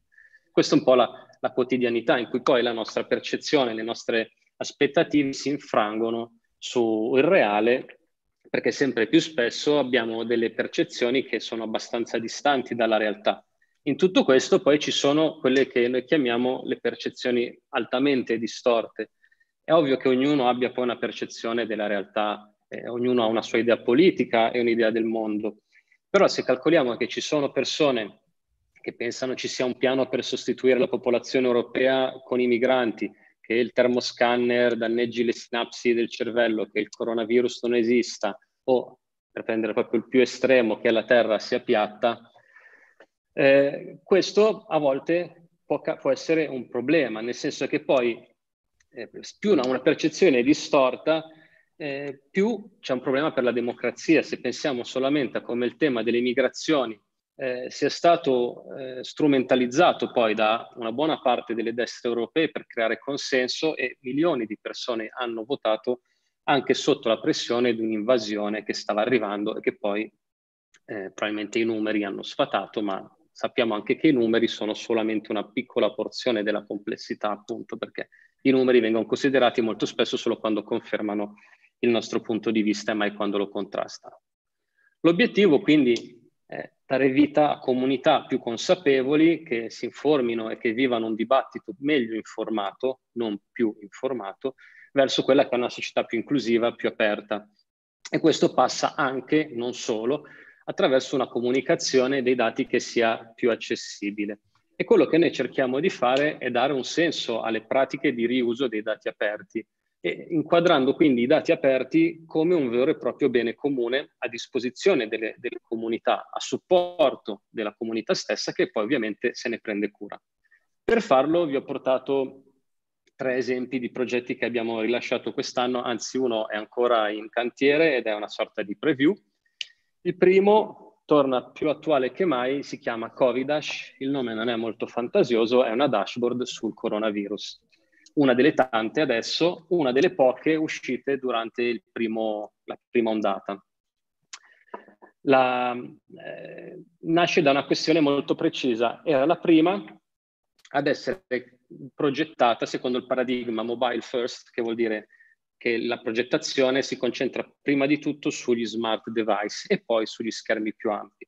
Questo perché all'inizio eh, erano molto poche quelle che rendevano i dati accessibili su smartphone ma inizio. Allora, ovviamente mai come in passato i dati sono stati così popolari nei dibattiti pubblici, erano presenti televisione, giornali e su internet. Solo che nel 2020 la maggioranza delle persone, non solo in Italia, ma diciamo anche nel mondo, accede a internet tramite uno smartphone e molto spesso solamente attraverso quello smartphone. E questa è stata la prima importantissima, preziosissima, voglio ovviamente sottolinearlo, dashboard sul Covid, quella della John Hopkins University, che mostrava i dati in maniera molto completa su desktop e su mobile lo vedete in questa schermata qua, questa parte di destra era praticamente inaccessibile. Ne sono uscite successivamente altre, questi sono alcuni degli screenshot di quello che si vedeva su uno smartphone. Spesso c'erano mappe completamente impossibili anche solo da, da ingrandire perché i pallini erano più grandi dei, dei, dei, dei paesi stessi. ed era l'unica occasione, a parte quelle, eh, quelle, dei giornali, spesso non facevano altro che ripostare quella della John Hopkins, e a parte appunto il notiziario serale della protezione civile, all'inizio, soprattutto della prima ondata, non c'era un modo per accedere ai dati se non quello poi di leggere gli articoli, ma non c'erano accesso. O meglio, l'altro accesso è quello rappresentato dai dati aperti appunto della protezione civile, che però pubblicava quotidianamente, tuttora pubblica, eh, dataset in formato CSV o JSON che sono accessibili realmente a, agli addetti ai lavori. Questo è un esempio di un file JSON che poi è un formato abbastanza leggibile, comunque eh, non è proprio immediato. Ed è così che nasce proprio da un'esigenza personale dopo la, la prima settimana di lockdown eh, sul divano senza poter uscire di casa, comincio a guardare cercando dei dati per capire quale sarà il nostro futuro e non trovo niente di eh, di utile e accessibile da smartphone e così decido di ridisegnare eh, questa dashboard. Immediatamente chiedo aiuto ai miei colleghi di studio più altri amici come Riccardo Locco e Luciano Perondi di Cast Foundry che ci hanno dato i font e Maurizio Napolitano della Fondazione Bruno Kessler che ci ha aiutati invece sulla parte legata agli open data. E il 30 marzo viene pubblicata la dashboard e il codice rilasciato in formato aperto su GitHub e questa è eh, Covidash, nella parte di sinistra la versione desktop, nella parte di destra la versione mobile ovviamente. Rendere i dati visibili può essere una buona strategia verso una società maggiormente alfabetizzata e consapevole. E l'idea anche qua è di rilasciare Covidash come un bene comune a disposizione dei cittadini, dei designer e degli sviluppatori che vogliano estenderla adottarla, possono tradurla, il codice è documentato, noi siamo ovviamente a disposizione per migliorarla, eh, però ovviamente è un progetto pro bono e quindi abbiamo anche un tempo limitato, saremmo solamente felici se qualcuno poi vuole contribuire e migliorarla verso una comunicazione più chiara e accessibile. Un altro progetto, quello che vi anticipavo che è ancora in cantiere, abbiamo visualizzato i dati aperti di eh, Copernicus, che è un'agenzia europea eh, che registra le temperature e si occupa delle questioni atmosferiche e climatiche dell'Europa. Quella che vedete è una parte dell'interfaccia in cui siamo andati a visualizzare eh, 40 anni di temperature di ogni comune europeo. Sono decine di migliaia di comuni. Quello che vediamo innanzitutto è che ogni, ogni pallino corrisponde a un comune e ogni pallino ha un colore. Il colore è ovviamente relativo al cambiamento climatico che ha impattato su ogni comune. E la cosa già che si vede da questa macro visualizzazione è come in realtà i comuni che soffrono di più il cambiamento climatico non sono quelli già caldi, ad esempio se guardate la Grecia è gialla, ma in realtà sono le aree montuose. Adesso purtroppo la Norvegia non è accessibile in questa mappa, ma ad esempio vediamo come il nord Europa sia molto rosso, così come le Alpi e appunto la Norvegia o la Gran Bretagna, perché il cambiamento climatico, anche secondo gli studi, colpirà maggiormente le zone montuose. Eh, questo è solo l'inizio perché poi ogni comune eh, andando sopra col mouse viene indicato il comune e il cambiamento degli ultimi 40 anni della temperatura media e dopodiché si può cliccare su una singola città, in questo caso Perugia, e scoprire ulteriormente quello che sono i dati, cioè i dati dietro a quel macrodato aggregato. Adesso dovrebbe caricare la pagina e vediamo come qua abbiamo usato una strategia di, si chiama scrollytelling, quindi narrazione attraverso lo scorrimento della pagina e eh, quando una persona scorre la pagina muove il cursore sul grafico che mostra la temperatura degli ultimi 40 anni, mostrando anche il picco di temperatura più bassa, quello più alto che per Perugia è stato nel 2003, però in realtà come possiamo vedere poi dal grafico l'andamento è comunque in crescita, tristemente, quindi probabilmente l'anno prossimo o sarà anche già più caldo. Dopodiché ci sono una serie di zoom indietro, dal comune si va alla provincia, quindi come la provincia di Perugia rispetto a quella di Terni sia più calda, e poi come tutto questo si eh, ripeta, questo schema di navigazione, anche a livello poi di regioni, come la provincia autonoma di Bolzano sia quelle più calde. Da lì poi è possibile navigare attraverso comuni, nuovamente attraverso la mappa, un po' come Wikipedia, una navigazione orizzontale. Eh, nuovamente questi erano i dati rilasciati da Copernicus, che sono dati ovviamente open, ma difficilmente gestibili e consultabili da persone comuni. Quello che pensiamo di essere riusciti a fare, poi vedremo appena rilasciamo il, proce- il progetto, è rendere tutti questi dati accessibili eh, a un pubblico più ampio che poi possa un po' trarne de- le proprie conclusioni e riflettere sulla, propria, sulla condizione attuale. L'ultimo progetto invece è quello legato al portale Open Data di Matera 2019. Immagino vi ricordiate che la città di Matera è stata eletta capitale della cultura europea nel 2019, un anno durante il quale i cittadini, i turisti e anche eh, un sacco di persone hanno partecipato a, visitando la capitale e diventando parte stessa poi di eventi culturali. Durante quest'anno la fondazione organizzatrice ha raccolto così tanti dati che alla fine ha deciso di istituire un portale open data per metaforicamente restituire i dati non solo ai cittadini ma a tutti coloro che hanno contribuito alla loro generazione. Eh, Ovviamente ci hanno coinvolto e la richiesta era non vogliamo un classico portale open data, vogliamo qualcosa di più.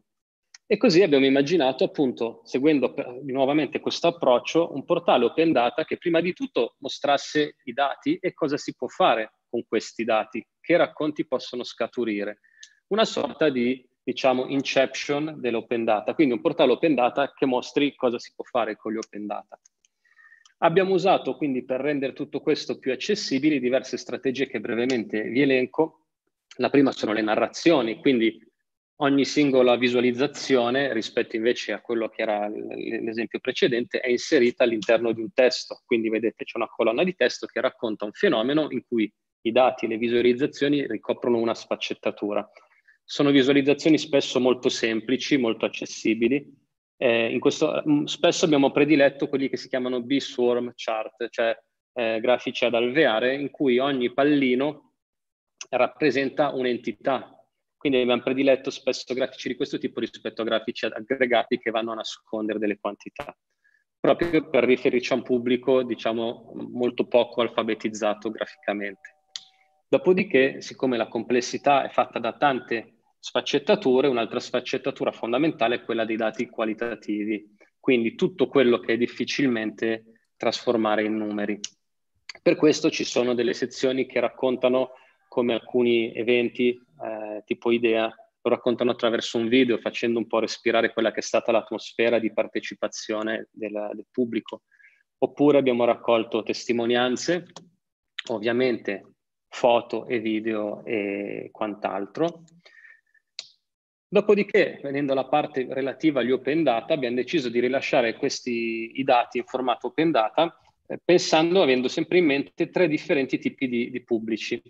Il primo pubblico era quello dei cittadini, diciamo, meno alfabetizzati. Infatti ogni sezione, sono sei sezioni in totale, ogni sezione è chiusa da quello che si chiama l'Open Data Corner, che presenta solamente i dati pubblicati in quella pagina che uno ha appena guardato e i dati sono presentati sia in formato non elaborato ma anche nel formato già pulito per essere utilizzati per riprodurre il grafico che si è appena visto.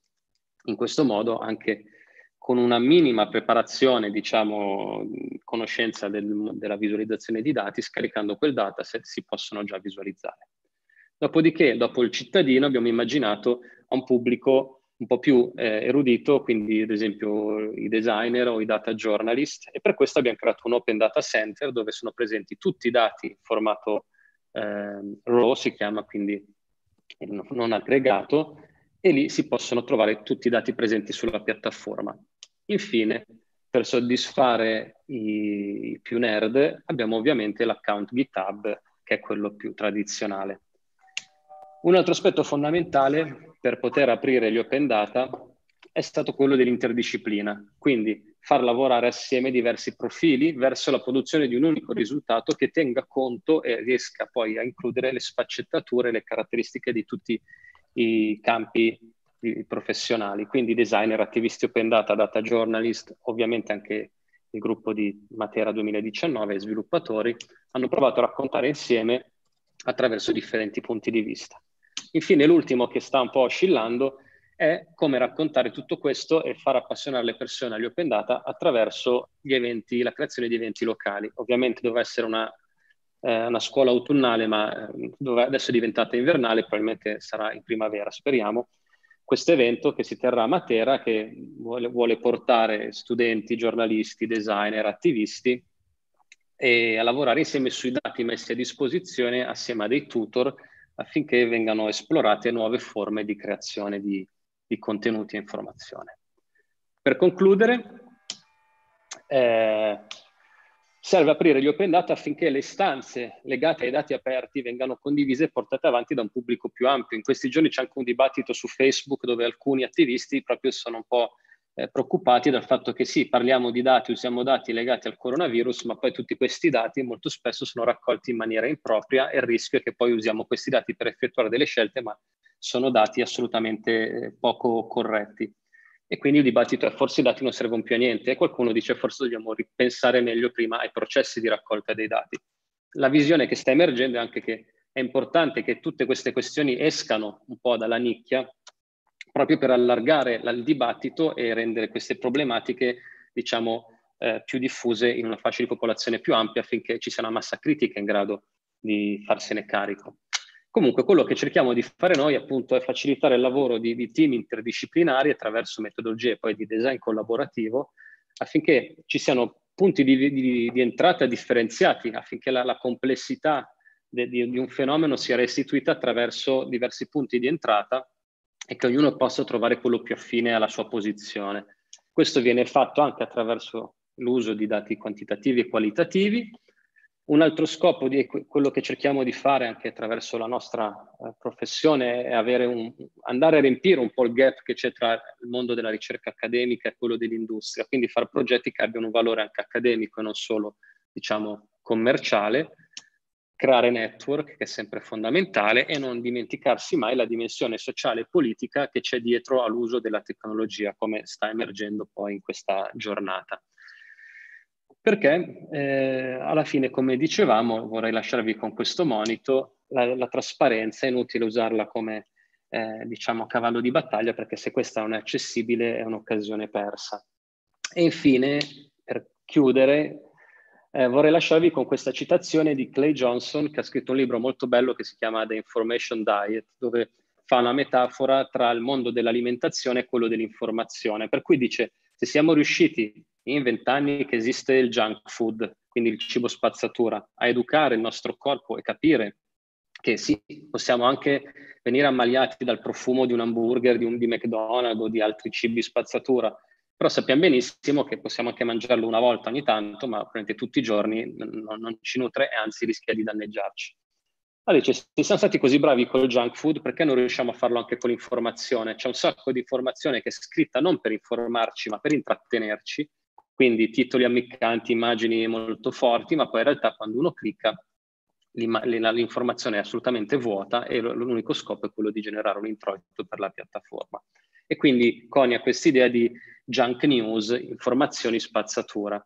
E poi durante tutta la sua metafora eh, esce con questa, con questa affermazione abbastanza curiosa che dice appunto Internet è il più grande strumento o il più grande creatore di ignoranza che il genere umano ha mai creato, allo stesso tempo è il più grande eliminatore di questa ignoranza. Quindi sta a noi poi farne un buon uso.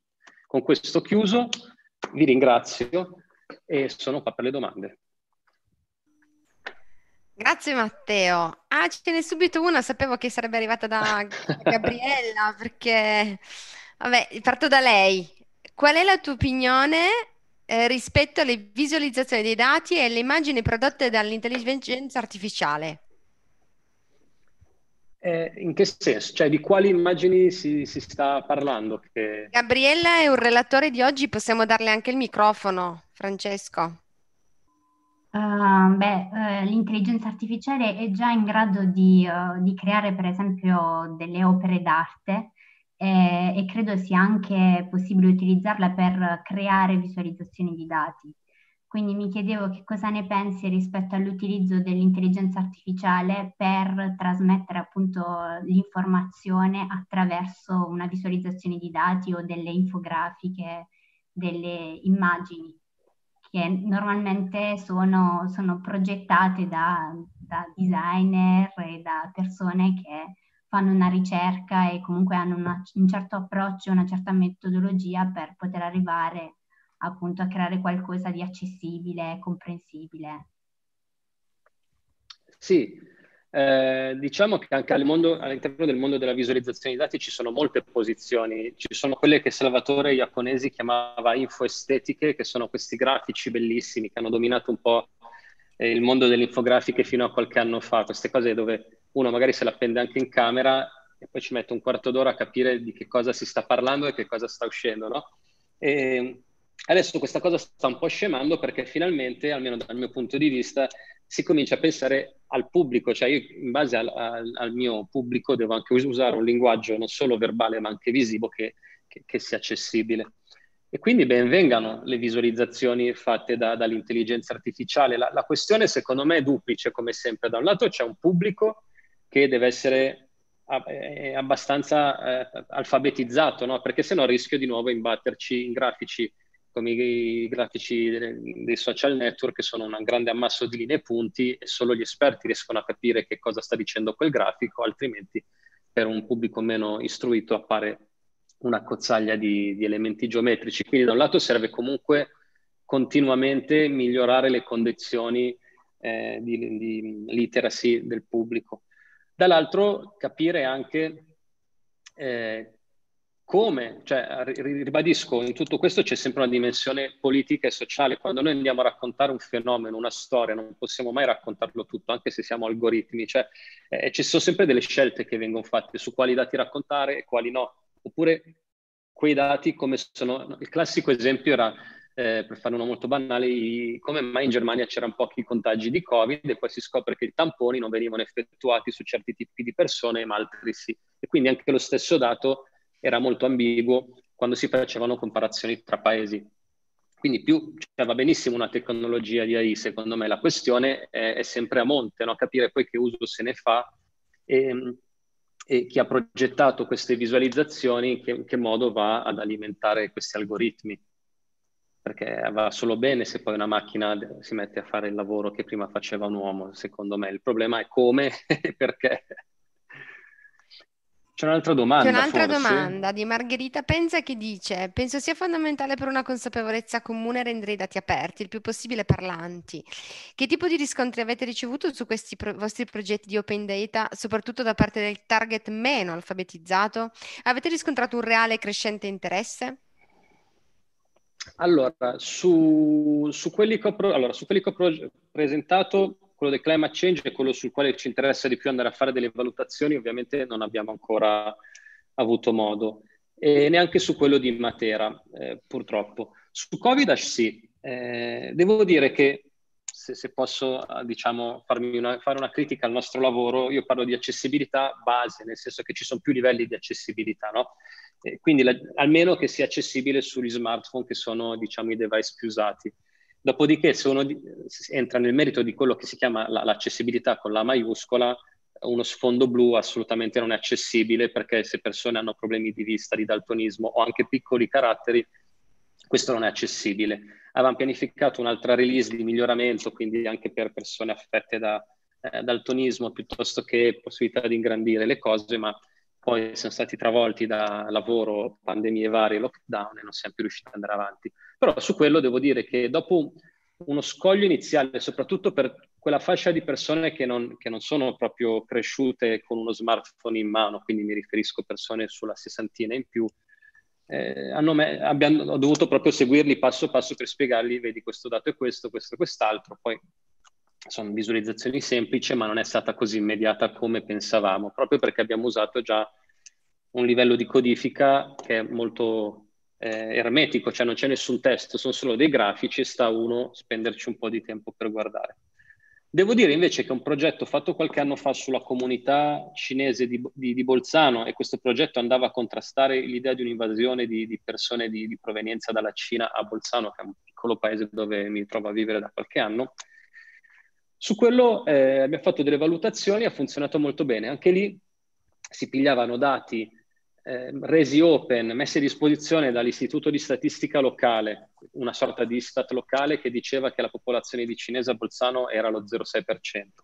I dati della Camera di Commercio che raccontavano come le attività commerciali fossero distribuite su tutta la città e non concentrate in una Chinatown come voleva lo stereotipo dati su, su, vari dati che erano già aperti, ma su di piattaforme diverse, e noi quello che abbiamo fatto con quel progetto è stato convogliarli, creare una narrazione che li mettesse eh, in, in, relazione e offrire questa differente narrazione al pubblico. E su quello ha funzionato molto bene.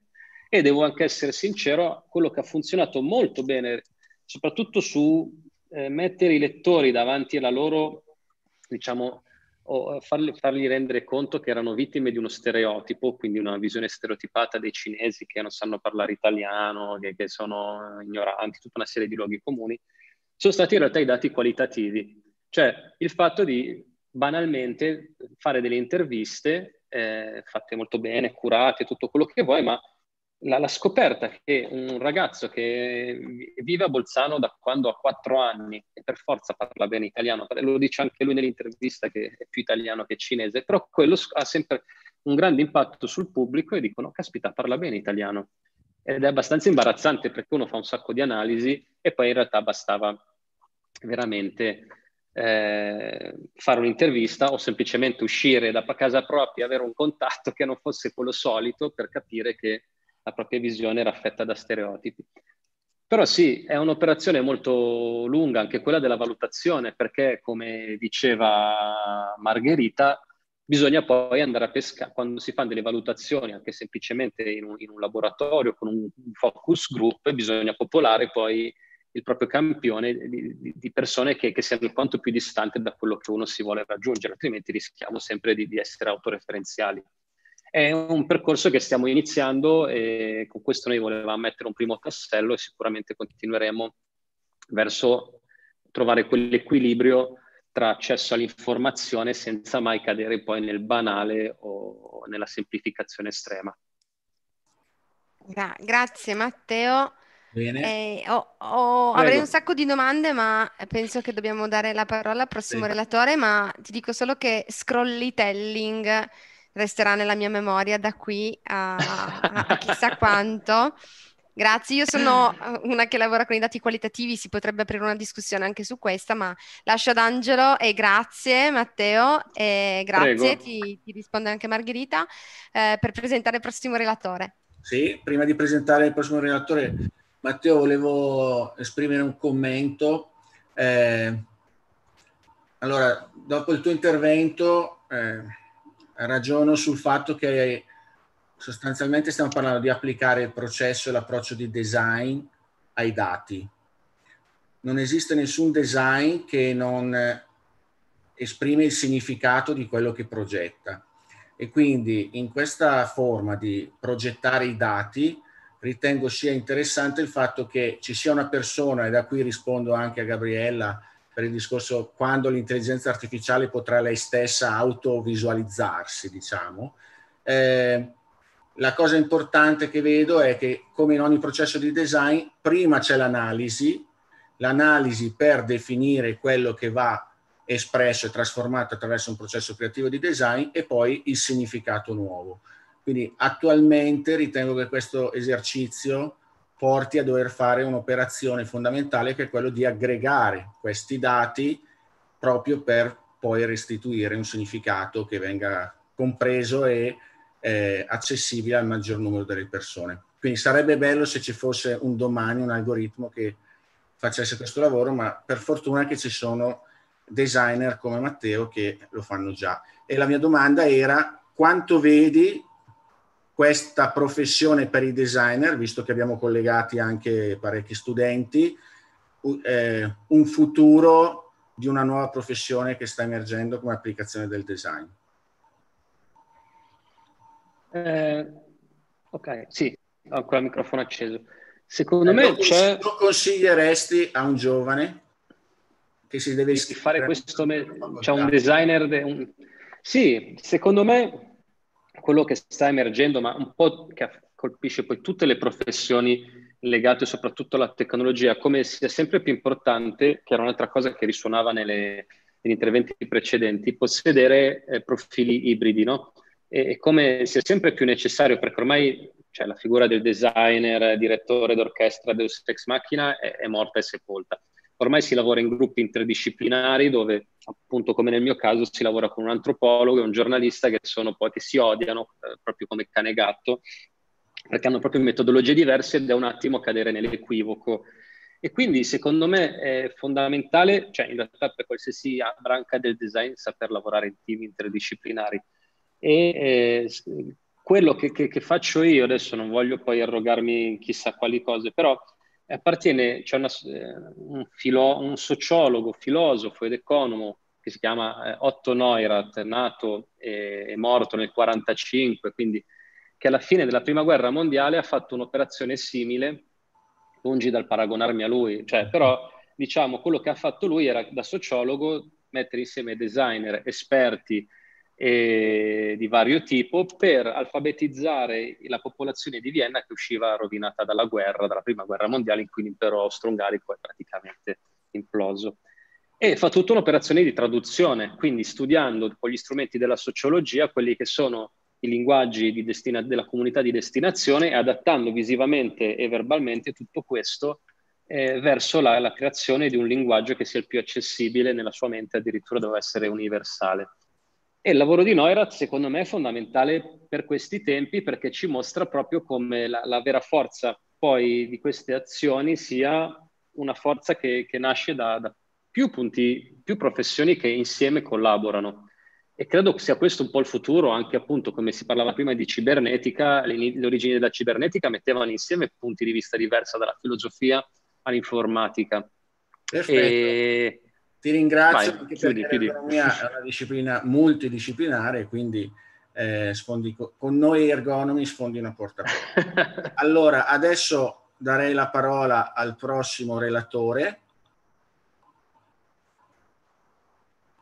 che sono due, ma attualmente oggi ci presenterà solo Fabio Bianconi, che vado a presentare. Il loro, la, il loro l'intervento è CAD e AI parametrico generativo evolutivo.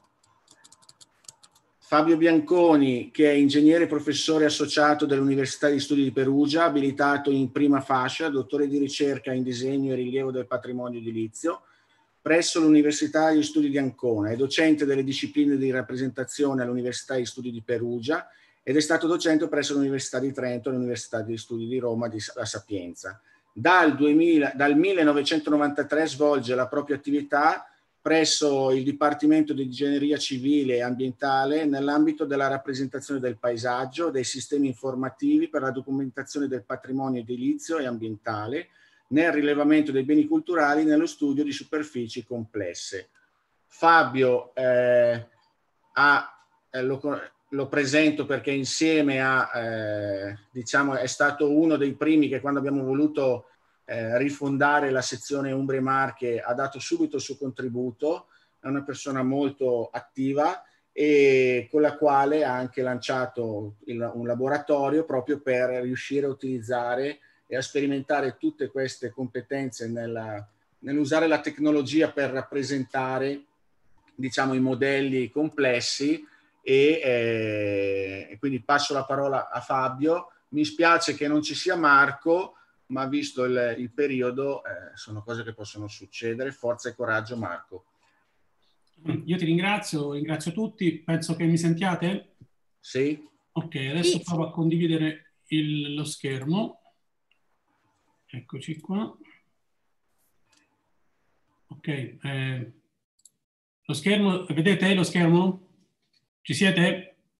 Vediamo te ma non lo schermo. Non lo schermo. Molto, molto bene, no, molto bene in senso ampio. Adesso ci riprovo. Allora, eh, share screen. Eccoci. Adesso penso che lo vediate. Sì, sì, lo vediamo. Adesso vediamo lo schermo anche perché dopo la presentazione di, di queste sulle tecnologie, poi se non sono capace a mettere lo schermo diventava difficile. Allora, no, faccio una confusione incredibile che abbiamo troppe piattaforme. Abbiamo troppe, allora, eh, io cercherò di... Ho present, ho, forse la presentazione era un po' troppo lunga eh, perché insieme a Marco Filippucci che ci sta ascoltando, lo saluto, a, a breve si rimetterà, è, è una bella fibra, poi è tanto più giovane di me, quindi tanto, ha 14 anni meno di me, quindi è, è grande fibra. E, ehm, quindi eh, la presentazione era una presentazione a due voci, lavoriamo insieme da 15 anni e gestiamo questo laboratorio di ricerca sul paesaggio ormai da 5 anni insieme. Insieme a noi poi c'è un gruppo folto di eh, collaboratori e colleghi eh, con il quale appunto cerchiamo di mettere in atto le ricerche che vi presenterò. Cercherò di essere rapido perché forse le ricerche sono troppe, da, ma magari ne taglierò alcune. Però prima di, di partire io volevo, uno, ringraziarvi perché secondo me è una delle occasioni, ho sentito solamente tre relazioni ovviamente, Calì che mi è piaciuto molto, Santarelli e anche per ultimo Matteo Moretti, sono cose interessantissime. Nei convegni, generalmente nei convegni ai quali faccio parte, faccio parte di qualche società scientifica, generalmente tutti dicono la stessa cosa, e quando tutti dicono la stessa cosa, secondo me tutti meno uno sono inutili, cioè non servono, perché se diciamo tutti le stesse cose è come, un po' come nella politica, no? Tutti siamo d'accordo, quando tutti siamo d'accordo non servono appunto il tutti meno uno.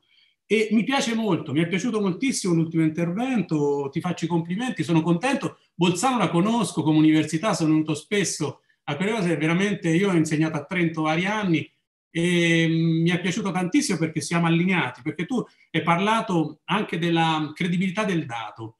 Cioè, in fondo c'è il vero problema. Il problema attuale è confondere le opinioni con i dati. È la post-verità, quella che ha permesso Trump di governare l'America, quella che ha... Cioè, adesso io non voglio fare politica e non lo dico adesso perché non è più presidente, per paura di ritorsioni. No, cioè confondere l'opinione con i dati, ma il, finché accade in internet, finché accade eh, nel, nel, mondo comune, succe- va bene, ma quando accade all'università, che dovrebbero essere il veicolo della cultura e il veicolo della verità, io intendo, è bello dire verità, perché ormai lo, lo si usa solo in chiesa parlare di verità. Invece lo dobbiamo dire, la verità esiste e la dobbiamo ricercare. Noi, quando noi ci occupiamo prevalentemente di creare modelli interpretativi di realtà, se, vediamo, se vediamo la nostra cultura, la cultura attuale, invece, la volontà è quella di creare modelli che si adattano per comodità, no? modello una sorta di pantofole, no? Io arrivo e la realtà non è più una realtà, ma è una sorta di pantofole che io mi metto comodo, sto tranquillo e sono sereno. Questa è la post-verità. Contro questa post-verità noi lavoriamo in due modi e mi piace molto perché c'è un'assonanza, mi è piaciuto anche Santarelli, prima non so se c'è, lo ringrazio perché eh, c'è una... Noi, ci sono, ci sono, ah, ci sono. Ecco, complimenti, complimenti. Eh, eh, no, questo concetto della post-verità, dopo ne parliamo, grazie. Sì, sì, non è un mio concetto, vuol dire, è un... Cioè, sì, sì, sì, no, è, è, chiarissimo, è chiarissimo. Sì, sì, sì, Comunque, cioè noi eh, ci adattiamo a adeguarci a qualcosa che non è vero, che sappiamo che non è vero, ma ci fa tanto comodo, no? È un po' come il cornuto. E, e contro questo, appunto, noi ci lavoriamo a, e, e mettiamo in atto appunto relazioni di carattere transdisciplinare, cioè la ricerca non della, della eh, multidisciplinarità o polidisciplinarità, cioè proprio inventare nuove discipline, perché noi abbiamo gli stessi problemi e li dobbiamo affrontare però in modo diverso. Affrontarli in modo diverso significa andare a cercare eh, le, più competenze o competenze diverse in, grado, diverse in grado di risolvere i problemi. E detto questo, quindi, eh, l'obiettivo è collaborare, e la cosa che mi è piaciuta di Moretti era proprio questo, dice siamo un antropologo, un giornalista, eccetera. Anche a noi, noi ci piace tantissimo collaborare con tutte le più diverse e disparate eh, eh, competenze, al fine veramente di individuare nuove competenze. E il designer è appunto è una di quelle immagini che veramente il ruolo del designer potrebbe essere un ruolo, un ruolo di ehm, captare, da essere un, un sismografo più della realtà, più che una persona che raccoglie il dato, più che lo dà il dato. No? e soprattutto eh, verificare appunto la veridicità di questo dato stesso. Cerco di essere rapido, se no ho 200 slide e non ho fatta vedere una. Allora, questo è dove lavoriamo, il nostro dipartimento dove abbiamo un laboratorio di disegno automatico e il nostro laboratorio che è ad Assisi davanti al Sacro Convento. Adesso siamo in smantellamento perché cambieremo sede, eh, però eh, questa è la struttura. La struttura del laboratorio è fatto prevalentemente da un gruppo di persone, questo è lo zoccolo duro. Siamo, mh, vi presenterò eh, lavori sviluppati da io, Marco Filippucci, lo vedete, quello, la, quello bello con la barba, io sono quello brutto con gli occhiali e gli altri invece sono tutti ragazzi molto giovani che però collaborano con noi, sono dottorandi o assegnisti, cioè noi sviluppiamo progetti, soprattutto facciamo ricerca applicata e le collaborazioni prevalentemente sono collaborazioni mh, con amministrazioni locali, con amministrazioni oppure con progetti di ricerca che possono essere italiani, nazionali o internazionali, europei e via dicendo. Generalmente quello che mettiamo in atto sono questi eh, queste, quattro, queste sono le quattro colonne. Competenze, strumenti, poi mettere in atto azioni per ottenere risultati. Eh, con questo schema vi faccio vedere alcuni progetti che sviluppiamo. Sono cinque anni che esistiamo come laboratorio, però vabbè, l'attività nostra, io lavoro da, da circa 30 anni, l'attività nostra però prende in considerazione varie cose. Uno, abbiamo detto competenze, poi strumenti. Molto spesso eh, il dato la, il dato generalmente è invisibile, cioè per questo che è facile gestirlo, perché nessuno lo sa. Non, è bello cioè, rendere pubblici, e ne stiamo parlando adesso, rendere pubblici i dati. Molto spesso i dati sono invisibili o sono mal interpretati, sono interpretati in maniera tendenziosa. Allora, uno dei, uno dei modi più semplici per ehm, quando non hai accesso al dato è costruirtelo. E allora noi abbiamo abbiamo una serie di strumentazioni, eh, qua adesso vediamo un nostro dottorando bravissimo che sta portando avanti delle ricerche proprio sulla percezione, eh, eye tracking e oppure neuroinsets oppure elettroencefalogrammi che ci permettono di andare a raccogliere dati dove servono e sviluppiamo ricerche. Qua, questa vado avanti velocemente, qua siamo in un luogo di Perugia, è un, un luogo irrisolto di Perugia, ex fabbrica della Perugina, abbandonata negli anni 60, eh, hanno ricostruito Aldo Rossi, grande architetto milanese, costruì eh, fece un progetto bellissimo, ne costruirono mezzo e questo luogo è il luogo, penso, tra i luoghi più degradati eh, di Perugia, anche dal punto di vista della malavita e dal punto di vista proprio della... cioè è un, è un luogo... Allora, eh, abbiamo avuto incarico eh, di scrivere il bando, si chiama bando delle periferie, quel bando che per le città metropolitane, eccetera, per il nostro comune, l'abbiamo scritto, l'abbiamo anche vinto, eh, sono arrivati 16 milioni di euro per fare questo progetto. non l'abbiamo vinto noi, l'ha vinto il comune, noi abbiamo collaborato con il comune alla stesura di questo bando. Qua eh, cosa vi mostriamo? Cioè, l'incarico era capire perché non funziona la piazza. È stato molto facile. Questi cerchietti che vedete sono sulle fissazioni degli occhi ehm, di un campione di 50 persone che con questi occhiali eye tracking, che sono, non sono altro che degli occhiali che inquadrano, mi dicono cosa sta guardando la mia pupilla, erano dei puntatori, sono dei puntatori prevalentemente, servivano per fini bellici e noi li utilizziamo, è un progetto del MIT che noi abbiamo acquistato in Germania e utilizziamo. Adesso li produciamo anche noi, anzi se vi servono li produciamo, li stampiamo e li produciamo, quindi sono solo due telecamere che si guardano con un software. E, ehm, e, qua cosa abbiamo capito? Abbiamo capito che del progetto di Aldo Rossi, meraviglioso, interessantissimo, grande architetto, esiste, cioè nessuno guardava, nessuno guardava perché i miei occhi non cercano l'architettura, come molti potrebbero pensare, ma queste sono per esempio le zone calde, cioè ciò, cosa guardano? Cosa guardano i miei occhi? Con un campione di 50 persone, esaustivo in questo caso dall'analisi che abbiamo fatto, le persone guardano solamente il verde, cioè quindi la possibile boscaglia dove si può nascondere qualcuno, guardano un murales, non so se l'indicatore lo vedete, ma comunque guardano un, eh, un murales qui brutto, guardano sotto i portici perché hanno paura che magari qualcuno li assale e il verde è ciò che non guardano, cioè la piazza non esiste, quindi anche se l'ha fatta Aldo Rossi, anche se molti dicono che questa piazza è una piazza fantastica, effettivamente è una piazza metafisica e del metafisico c'è il fatto che nessuno c'è, non c'è una persona. Se andiamo a vedere i dipinti di Sironi, sono fatti da tante architetture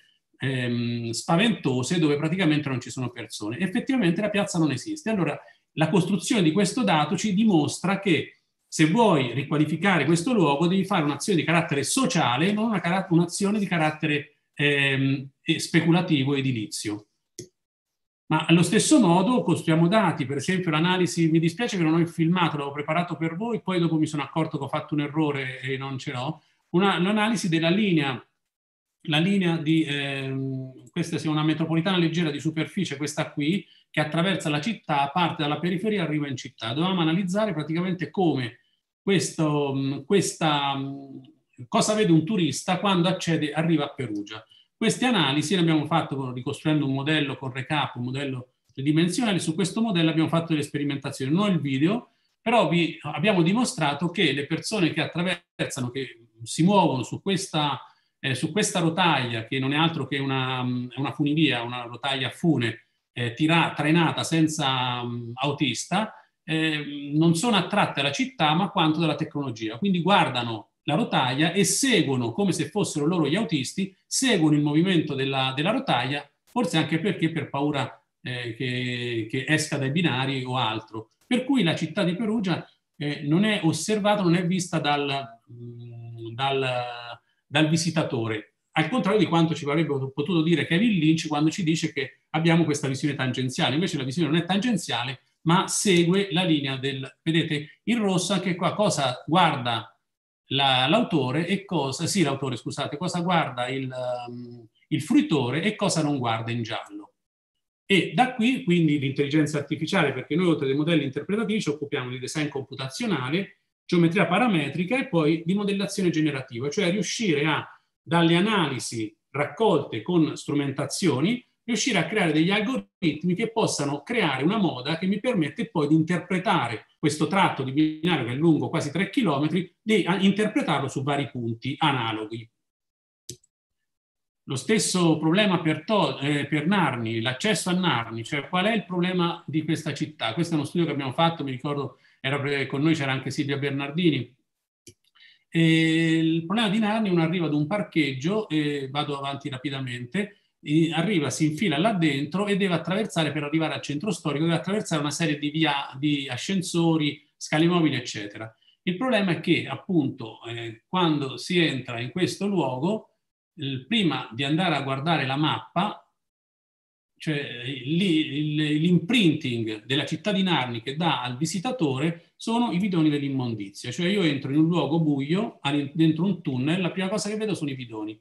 Forse spostare quei bidoni aiuterebbe notevolmente la città, perché cioè, la prima cosa che vedo è la prima cosa che mi ricordo. È come, cioè, come in un progetto, io riesco a veicolare la copertina di quel progetto, è difficile che poi mi, tu, mi ricordo tutto. Immaginate se provate a chiedere a qualcuno eh, come è fatta eh, Casa Kaufman, la, la villa sulla cascata di Wright, nessuno lo sa. Tutti sanno però, riconoscono l'immagine. Provate a chiedere come è fatto un appartamento dentro al bosco verticale. Secondo me solo gli arabi che l'hanno comprato lo sanno, perché io la pianta in appartamento del bosco verticale non lo conosco. Conosco solamente quelle due meravigliose immagini, che sono fantastiche, fatte con alberi, eh, con alberi inseriti nelle, nelle, fioriere, e da qui la radice quadrata della, della natura ci ricorda, no? perché se li tiri su vengono fuori quelle radici quadrate, però nessuno sa come è fatto in pianta, perché l'imprinting è importante in una città. Quindi spostiamo, e questo cosa ci dice? L'elettroencefalogramma eh, del personaggio che attraversa con uh, questa visione, questo qui, ma adesso vado avanti, vi faccio vedere dei, dei, degli estratti, Cosa, eh, quando, ecco qua, io mi muovo, sto salendo, arrivo, prendo un ascensore e questo cosa mi dice? Lo stress e l'engagement, cioè l'attenzione e lo stress. Vediamo che eh, nel momento che arrivo a Narni ho uno, uno, stress, un, uno stress sì, eh, mi, mi, sto tranquillizzando, poi inizia a muovermi, diminuisce lo stress e aumenta l'engagement, l'attenzione. E in questo, quando si incrociano questi due fatti, dove lo stress diminuisce, aumenta l'attenzione, significa che sto vedendo una cosa interessante. Quando diventano paralleli funziona, ma soprattutto quando poi diventano paralleli, aumenta l'attenzione e aumenta lo stress, significa che mi sento in pericolo. Cioè quindi io arrivo eh, al centro storico di Narni stressato e spaventato, perché questo è legato al fatto che l'ascensore che fa dei rumori strani è buio, quando lo prendo mi spavento. Fabio, allora probabilmente anche intervenendo, intervenendo, con piccoli interventi di carattere... Fabio, eh, sì? due minuti. Ok, eh, sono, ok, vado più rapidamente, vi faccio vedere altre realtà, altre, ehm, altri progetti. Detto questo, un'altra informazione, allora vado avanti veloce, sempre sulle eh, analisi, la costruzione di dati, ehm, vado velocemente e faccio solo vedere i risultati. I risultati riguardano ehm, provare a studiare le emozioni, che emozioni sto provando quando guardo un determinato spazio e poi riuscire a mettere questo dato a livello eh, topografico, a spalmarlo sopra l'architettura per far vedere appunto quelle architetture che effetto fanno. Vado avanti velocemente, vi faccio vedere il centro storico di Perugia, Corso Vannucci, attraversato e vediamo, questo era uno studio fatto per una società di franchising per collocare, eh, per trovare gli spazi migliori per la vendita, cioè lo spazio dove e le persone hanno, sono più rilassate e sono più serene, in modo tale che sono, brutto dirlo, ma vulnerabili e sono più attente. Quindi in celeste vediamo quali sono i luoghi migliori, in viola i luoghi eh, meno interessanti. Ecco qua il prospetto dove noi abbiamo messo il dato sopra alla, all'architettura e da qui ci sono dei video che non vi faccio vedere, da qui però emerge come ehm, per esempio eh, quello spazio in celeste è perché funziona eh, perché non c'è lo scambio piede ruota. Per esempio, dove ci stanno le macchine, le persone sono più attente, quindi diventa viola e le persone sono più attente a non farsi prendere sotto dalle macchine, piuttosto attenti al, a guardare le vetrine. Lo stesso studio, questo adesso vado avanti veloce su appunto il, il piacere, l'eccitazione, la tranquillità, eccetera, l'abbiamo fatto a Terni, sempre per uh, al, al, corso tacito di Terni, e anche qua emergono, questa è il nostro, uh, poi la, la costruzione dell'algoritmo generativo che poi analizza questi elementi e questo è quello che emerge. In questo caso è il giallo, il, um, il momento dove siamo più sereni e vediamo che lungo il corso quali sono gli elementi che ci mostrano eh, lo stress oppure la serenità, la calma, la tranquillità. Sono, eh, ovviamente sono 12 aree del cervello che ci danno informazioni su quando noi ci muoviamo su quello spazio a livello geografico, a livello, sì, geografico, scusate, vabbè sì, anche geografico, però eh, a livello urbano quello che ci comunica la città. Vado avanti veloci, sono immagini ovviamente ricostruite su un modello tridimensionale e secondo me sono anche, hanno una certa carica evocativa. Questo è il modello, vedete in viola le aree più difficili, in giallo le aree ser di maggiore serenità e poi, ok.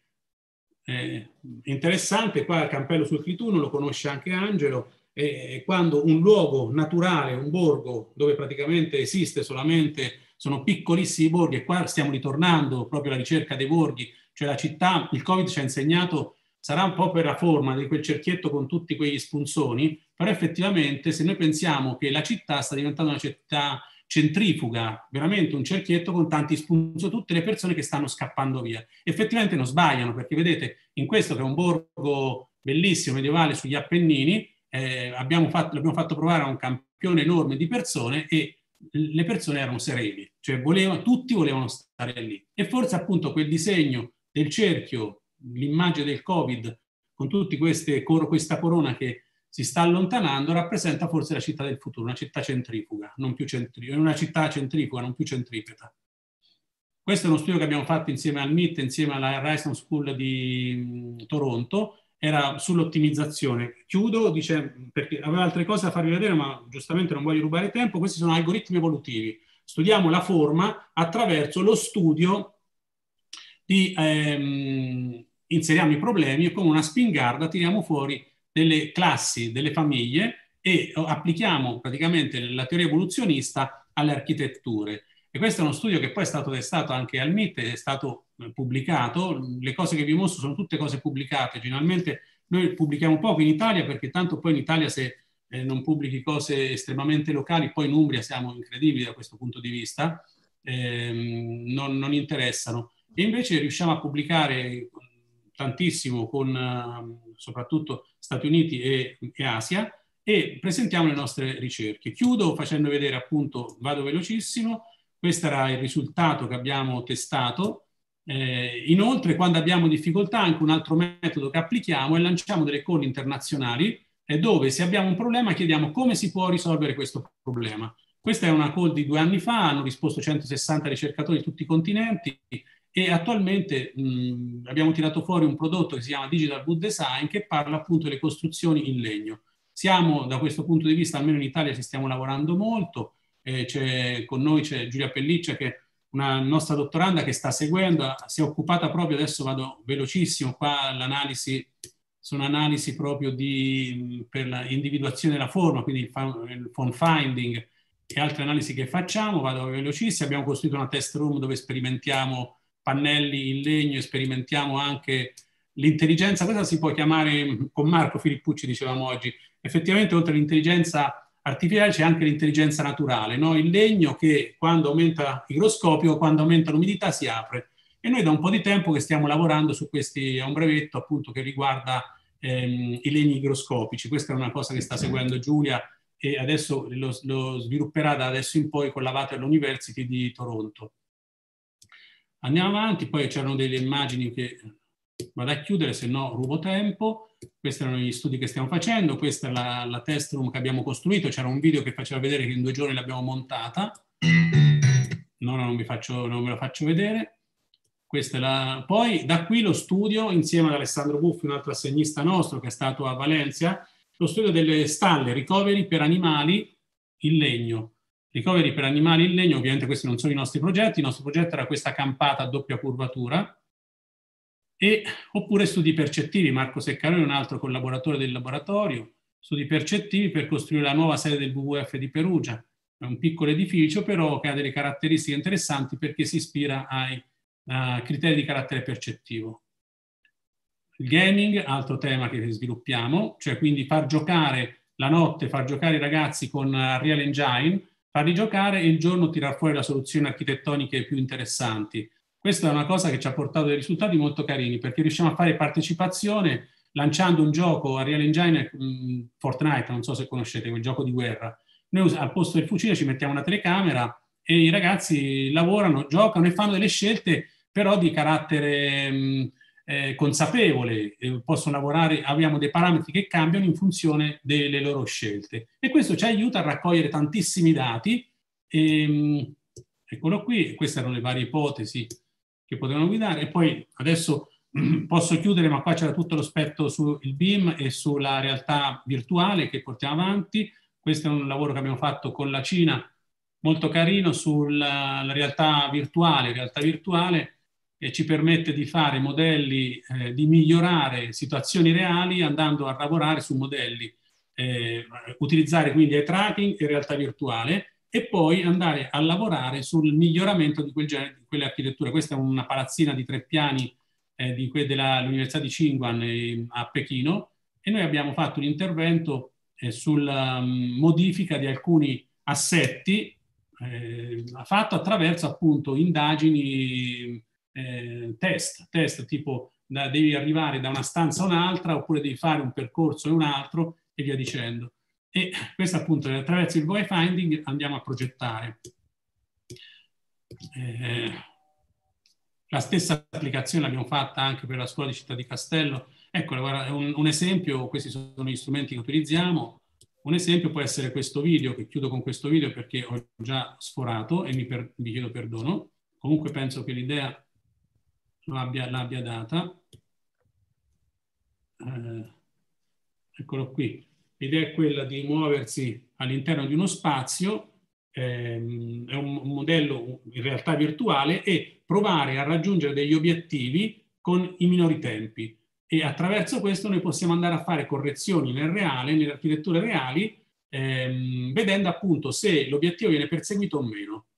Ehm, è una cosa interessante perché noi riusciamo, eh, lavorando appunto con Ariane Engine, a far partecipare una, una, quantità di persone incredibili, perché se tu lanci un gioco di questo genere di notte, di notte, la sera, il giorno dopo raccogli tipo il pescatore, la rete dei pescatori raccoglie 500 informazioni cosa che siamo diventati anche ultima, no, qualche anno fa eravamo diventati un caso studio per i sociologi dell'Università di Perugia, perché non riuscivano a capire come noi facevamo a raccogliere tutti questi dati, pensavano fossero falsi. Ci hanno messo a Calcagna quattro ragazzi, eh, quattro laureandi, invece hanno scoperto che erano veri, solo che loro facevano porta a porta, bussando alle porte, chiedendo di... Eh, noi facevamo tramite, mh, utilizzavamo appunto i social. Basta, chiudo, eh, avrei altre cose, ma ovviamente mi chiedo perdono se ho sforato e vi ringrazio. Fabio, grazie. Guarda, ti perdoniamo solo se ci prometti di essere ospite di uno dei nostri ergo webinar delle prossime edizioni, così guarda... ti diamo tutto il tempo che ti serve perché stanno arrivando un sacco di, di, commenti positivi, quindi ti perdoniamo solo se accetti di tornare da sono, noi. Sono a vostra disposizione. Come vi ho detto, appunto, nei luoghi dove, che frequento io sono dei luoghi morti dove tutti dicono appunto tutte le stesse cose. Questa è unica, una delle poche occasioni, guarda, io ringrazio Angelo Rondi e Silvia Bernardini perché ci siamo conosciuti quattro anni fa e da lì non ci siamo più lasciati, perché effettivamente parlare linguaggi diversi è la cosa più bella che esista al mondo. Per cui io sono a vostra disposizione. Questi erano i risultati. Fabio, ti cooptiamo. Ti faccio soltanto due domande per poi passare al prossimo. Eh, te le pone eh, Rossana Actis, grosso. Eh, il modello delle emozioni che ci hai mostrato, eh, prendono come base, che prendi quello come base, quello visto nella slide 2, nella slide di sopra, eh, scusa, sto leggendo male. Eh, interpretate lo stato emotivo a partire dall'EEG sì, Stanno sì. arrivando domande, ma ho paura che non possiamo portarle. Porte, eh... Sì, noi ovviamente abbiamo eh, lo strumento è questo qui. Adesso vi faccio vedere se lo ritrovo. È uno strumento molto semplice. Poi adesso ne abbiamo altri. La tecnologia si è evoluta, per cui questo è uno strumento che abbiamo comprato due anni fa. Attualmente ne usiamo un altro che è molto molto più semplice, che è solamente una sorta di cerchietto che quello prende in considerazione otto aree eh, del cervello, questo ne prende in considerazione 12. Eh, serve prevalentemente per fare neuromarketing. Noi facciamo marketing urbano perché lavoriamo molto su progetti legati alle periferie, ma progetti anche piani di sviluppo rurale. Eh, vi avrei potuto presentare anche dei progetti molto interessanti che stiamo facendo, ma non interessanti perché facciamo noi, perché interessano noi, ehm, sul, um, sul, verde, cioè riportare, cioè, eh, questo riportare i i, i, il verde in orizzontale, cioè provare a lavorare, cioè fare in modo che i boschi diventino orizzontali. Scusate anche perché effettivamente il bosco verticale ha un costo sociale per tutti e un, un'utilità per pochissimi. Cioè appunto quando dicevo che mettere il verde in verticale è come mettere la radice quadrata del verde, perché effettivamente a livello, a livello ehm, come si dice, eh, non solo, ma proprio fisico, le radici dentro un vaso quadrato diventano quadrate un po' come il cocomero che fanno, che costa tantissimo in Giappone, che è di quel cocomero quadrato, no? Che in pochi se lo possono permettere, ma se sinceramente se noi vogliamo lavorare per eh, garantire l'ambiente, il nostro ter- gestire il territorio e valutare il paesaggio, no? fare in modo che il paesaggio, questo, diciamo, questo triangolo, no? forse la sostenibilità sta proprio in mezzo all'equilibrio di questi tre vertici. No? Io prenderei questi tre vertici, quindi lascerei stare azioni eh, estremamente propagandistiche poi azioni che riguardano a quello che dice appunto la post-verità e l'opinione, andando a concentrarmi sulla sostanza, perché abbiamo visto che il Covid ci ha insegnato che esiste anche la sostanza, non solo la forma. Grazie Fabio. Grazie Fabio. Scusa Angelo, eh, vai pure. Sì, sì, Fabio di sicuro allora parteciperai al prossimo, al prossimo Ergo Webinar, soprattutto perché, eh, soprattutto perché dovrai portare con te Marco, certo. che aspetteremo, ok? E, certo. Ci sono Sarà... 160 slide, di Ergo Webinar ne vengono fuori 4. Eh, vabbè, ne faremo 4. Ok. Grazie. Adesso, grazie, grazie a voi. Tor- torno, eh, sistema, scusate, tolgo lo schermo. Adesso diamo la parola a Alessandro Augusto. Allora, ho tol- eh, tolto il materiale, scusa, eh? eh? Questo finito, no, chiudi. Lo vediamo ancora, Fabio. Eh, sì, sì, sto chiudendo, sto cercando di chiudere di tutto, ma non mi compare. Devi togliere la condivisione. Eh, lo sto facendo, sto facendo. Okay. Nel frattempo ai relatori posso dare la notizia del fatto che abbiamo ottenuto eh, la possibilità di avere un numero speciale della rivista Ergonomia trattata dalla nostra associazione dedicata completamente al VUD eh, 2020. Quindi se eh, volete mandarci, eh, volete partecipare e mandarci degli articoli, eh, scriveteci alla mail siepiemonte.gmail.com e vi daremo tutte le informazioni necessarie, visto che abbiamo un numero speciale que- per, questo, mm, per, questo, evento eh, digitale. Eh, invito i relatori, a, a, e, i collaboratori, gli assegnisti, i dottorandi che hanno partecipato ai progetti che stiamo vedendo di mandarci dei contributi. Angelo. Perfetto, allora adesso introduciamo Alessandro Augusto il suo intervento al titolo L'ausilio delle macchine pensanti nella definizione degli scenari futuri. Alessandro Augusto assiste le aziende nello sviluppo di strategie di medio-lungo periodo al fine di migliorare i prodotti e i servizi e il business. Esiste, eh, eh, identifica piani di sviluppo roadmap per l'ideazione di nuove attività, è business partner di Skyrunner visto che eh, gli lascio subito la parola in modo di recuperare un po' di minuti e essere, rientrare nel tempo. Alessandro, a te la parola e a te lo schermo. Se mi confermi che mi sentite, parto. Ti confermo che ti sentiamo e ti vediamo. Perfetto. Allora, eh, fino adesso abbiamo avuto degli interessantissimi eh, interventi che però hanno una prospettiva un po' diversa da quella che vado a presentare io e nasce un po' anche dai tempi che stiamo vivendo, perché tutti quanti ora, se, se fate caso, dai talk show agli argomenti scientifici a qualsiasi post, ha un motivo principale, cioè il futuro.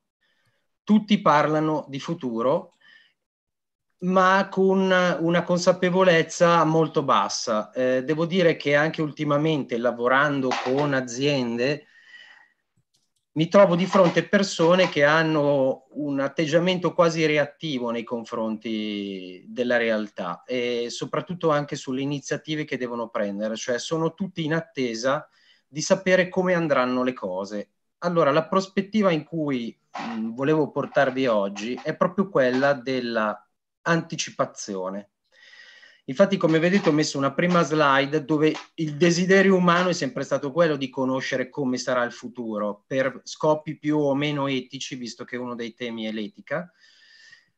Solo che quello che noi siamo abituati a, a considerare come futuro è quello frutto di una previsione. E la previsione di solito è una previsione di breve periodo e in buona sostanza è solo una propagazione del nostro presente. Se facciamo caso a quelle che sono le previsioni più ascoltate negli ultimi mesi, che sono quelle di come evolveranno i contagi o le, intensive, le presenze in terapia intensiva, sono tutte proiezioni di quello del mondo in cui noi stiamo vivendo e che avranno un arco temporale di pochi giorni fino a pochi mesi.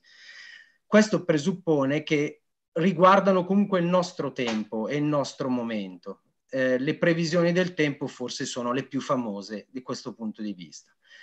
L'argomento a cui volevo portarvi oggi invece è un esercizio molto difficile dal punto di vista mentale, ma molto utile per tramutare il nostro atteggiamento, quello di cui ho parlato prima, dall'essere reattivo, cioè aspettare che gli eventi mi dicano quello che dovrò fare perché mi trascinano in una nuova realtà, in un nuovo contesto, a quello di provare ad anticipare quello che sarà il nostro futuro. Tenete presente che questo tipo di mentalità è una mentalità e un esercizio che nasce più di 70 anni fa ed era nato eh, in ambiente governativo, fino ormai a essere molto diffuso, ahimè purtroppo per la maggior parte all'estero, nell'ambiente aziendale. Questo che cosa vuol dire? Vuol dire che anticipare, come si dice anche come verbo molto consueto in termini calcistici, cioè anticipare la mossa dell'attaccante, che vuol dire fare prima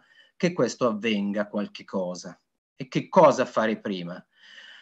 La capacità di immaginare eh, scenari futuri, e poi vedremo in che termini, per poi prendere le mie decisioni nel presente. Questo potete capire quanto sia di ausilio nella progettazione, perché quelle città e quei mondi che vi ha fatto vedere Fabio Bianconi, con l'ausilio della tecnologia di cui poi parleremo, sono il nostro presente ed è una reinterpretazione, una progettazione del nostro presente nel mondo in cui viviamo e molto legate al contesto che ci appartiene. Ma ora quello che chiedo a voi è se io devo progettare sviluppi tecnologici, miglioramenti della mia città e qualsiasi argomento che vada dal business aziendale fino all'attività del nostro paese, tutto potrebbe avere un riflesso, quello che è fatto oggi, nei prossimi 10, 20, 30 anni. Allora se io non ho uno sguardo sui prossimi 20 e 30 anni, probabilmente ho una minor capacità di meditare quello che sto facendo oggi e gli impatti che avrà nel mio futuro. Nelle discipline eh, del futuro, infatti, si parla non di futuro, ma di futuri, perché non si sta parlando di oracolo, nel senso che nessuno, per quanto possa crederci, è in grado di vedere il futuro, o perlomeno per ora.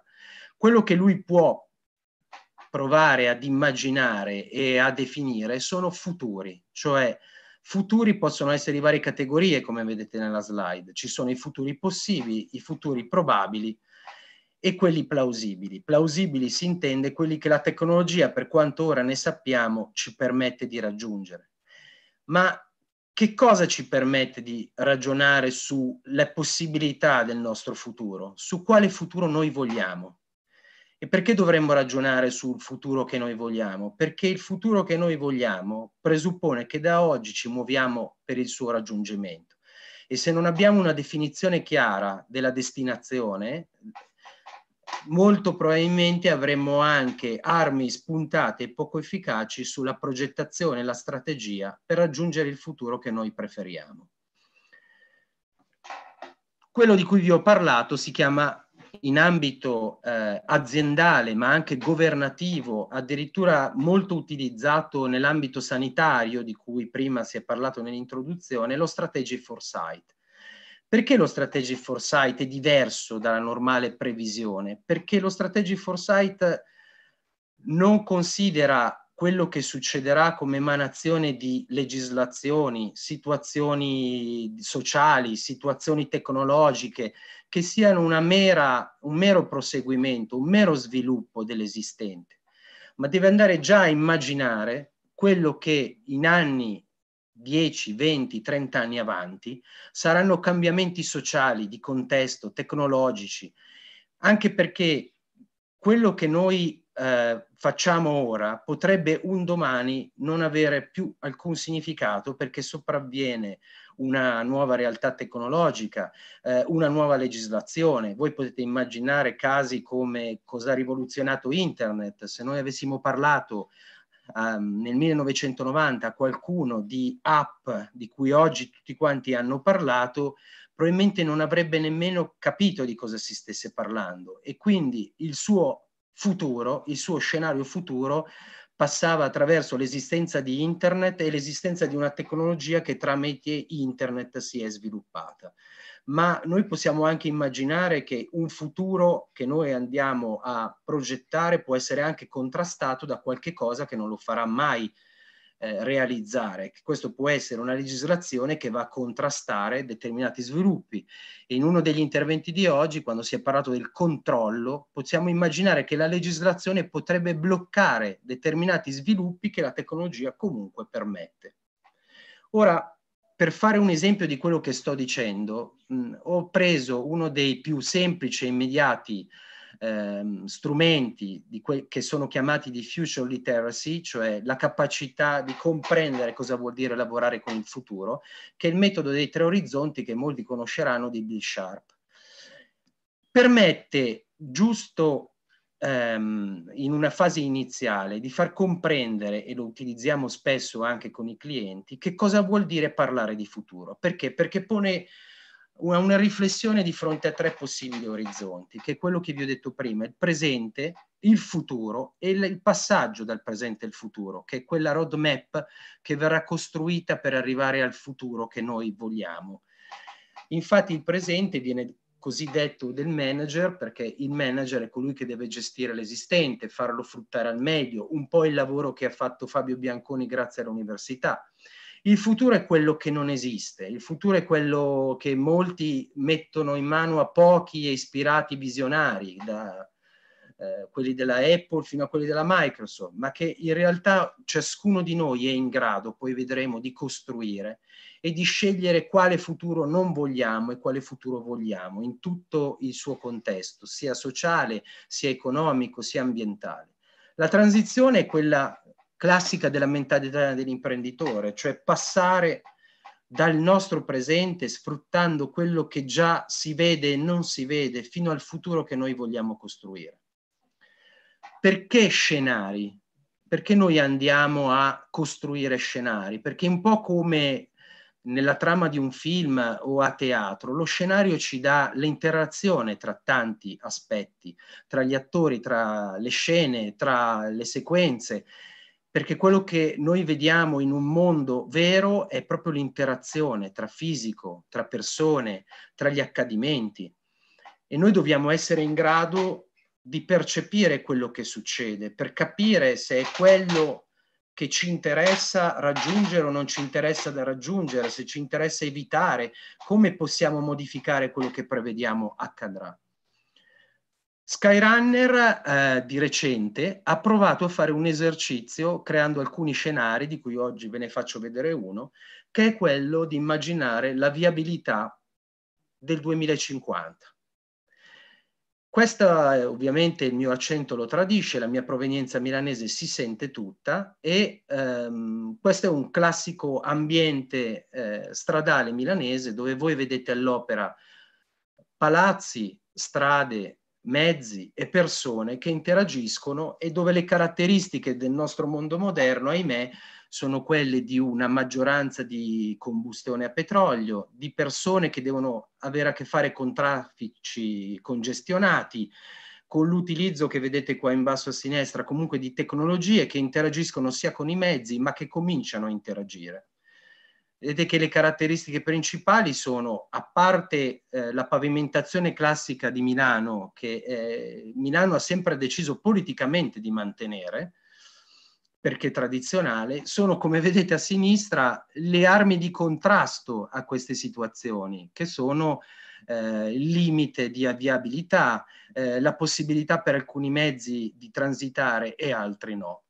Ma quello che noi immaginiamo, e vado subito a una scena futura, è immaginate questi ambienti, e noi li abbiamo immaginati, nello scenario in cui tutto potrebbe mutare, dove i mezzi hanno combustioni diverse, come vedete in, basso, in alto a destra abbiamo eh, delle eh, infrastrutture più flessibili grazie ai mezzi che viaggeranno, le persone interagiscono con i mezzi stessi e, per, eh, e, anche i mezzi potrebbero viaggiare autonomamente, come vedete in basso a sinistra, e questo potrebbe anche limitare la tipologia di restrizioni e i comportamenti delle persone. Ora, tutto ciò avviene probabilmente tramite passaggi graduali, dove noi immaginiamo questo scenario in cui ci sono eh, delle persone che cominciano a interagire e vedete in basso i due ragazzi, ad abituarsi all'uso di nuove tecnologie, dove forse c'è ancora la combustione, ma l'elettrico comincia a essere in modo più massiccio impiegato,